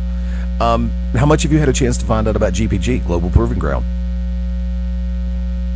Uh, well, uh, I know about as probably about as much as you do in some senses. uh, I have conversations with uh, James Jefferson, who owns the company, and, and they're pretty brief. Um, we talk about mainly about the show and, and trying to promote myself and trying to promote the show as the little by little more and more people are finding out about it, and we're hoping that uh, it does get the hoopla. It is a, I think the concept is, is amazing. I think it's it's going to be a real cool show to go. And uh, for me, somebody like me, a real, uh, I guess, like a long shot. I told him I'm going to be his Rocky story of the show. Um, you know, at 44 years old to start an MMA career is a little crazy, and I'm a little nutty myself. But I think uh, this would be a great learning opportunity for me. And you know, it's it's a shot at a half a million dollars, and you know, I, think I got a puncher's chance. So uh, I know I can still hit. If anything, I've I've knocked some some of my heavyweights and stuff out in practice before. So if I if I can that with 16 ounce gloves on, I can't imagine what I do with the little mitts on. So. Two questions I want to ask before we um, before we start to head in that direction. Also, um, you mentioned the factor of having the brothers, and y'all were all in wrestling. How much of a genuine sibling rivalry did you face? Was it always a case of you wanted to learn at a steady pace, or did they force you to step up your game? And um, considering you had older brothers who were in wrestle- who wrestled as well, um, how much of a case of one-upsmanship did the brothers have to deal with? Well, it, it was uh, they um, were a lot bigger than I am. Uh, the one brother's 12 years older than me, and uh, my uh, one brother's six years, and the, the next one's four years older. So we were never really in competition as far as on the same team or anything. Um, I I put a lot of pressure on myself with wrestling, which is kind of how I got out of it because I I wasn't enjoying it anymore. We all went to the same school. I had three older brothers that were all state champs and wrestled in college, and and uh, I actually my freshman year, the first tournament I was in, I won a tournament that they had never won before. So I put all this like pressure, the weight of the world on my back, and uh, after that, I wasn't, you know, I never wrestled the same again. I wasn't a, as wasn't having fun basically. So, and then we got in the Golden Gloves, and all of us were involved in, in the boxing together, uh, which was interesting because we we sparred with each other and each of us had a different style. I was the outside boxer, like the Sugar Ray Leonard type. Right. Um, my brother Dale was a southpaw. My brother Scott was a counterpuncher. My brother Chris was a brawler. So, in in each sparring session, we do what's called shark bait, where you get a different guy every minute, and each sparring session, you got three totally different boxers and we had a 12 by 12 boxing ring, which was tiny. So I, I had to really move around and throw punches, or I'd get creamed. So because I, I, when I started boxing, I was 112. You know, I'm about 250 now, but so my, my brothers were a lot uh, bigger than me at the time, so I had to I had to learn how to run and, and move real quick. Now, I want to ask you to make, um, to um, join me on a comparison real quick because you know the largest so-called um, sports entertainment slash professional wrestling company out there is World Wrestling Entertainment, and of course the largest brand in mixed martial arts right now is the Ultimate Fighting Championship. Do, we've accused on this show WWE of oversaturation on more than one occasion. They'll have too many television shows on it, and it dilutes their talent base and their product with the advent of so many different venues for people to see the the UFC brand, do you think that there's a point where the UFC can oversaturate the market and dilute the product itself in the world of mixed martial arts? Um, yeah, I don't know. I, I think sometimes they do stuff incorrectly where they they have a pay per view on one night and you're trying to ask yourself why, because the two guys that are headlining it aren't big names, and they'll do a free one on Fox, which is stock loaded with talent. tons of talent and has great fights. So I find myself, you know, picking and choosing, and and a lot of times I don't do the pay per view most of the time because I can get better quality sometimes on the FX or Fox or Fuel fights than I can on the on the pay per view. So um, I don't think you're going to get uh, accused of oversaturating because uh, I was trying to tell some of my students the other day that I mean I used to be able to watch uh, top level boxing on TV, back at NBC and ABC and you know Wide World of Sports, and watch Sugar Ray Leonard and and Tommy Hearns fight on free TV. You know, right. back before all the pay per view stuff started to happen. And I think that's what's kind of hurt uh, boxing a little bit because you know if you're not pay per view and kids, younger kids don't get to see it going on. I grew up watching some of the best fights on you know. Even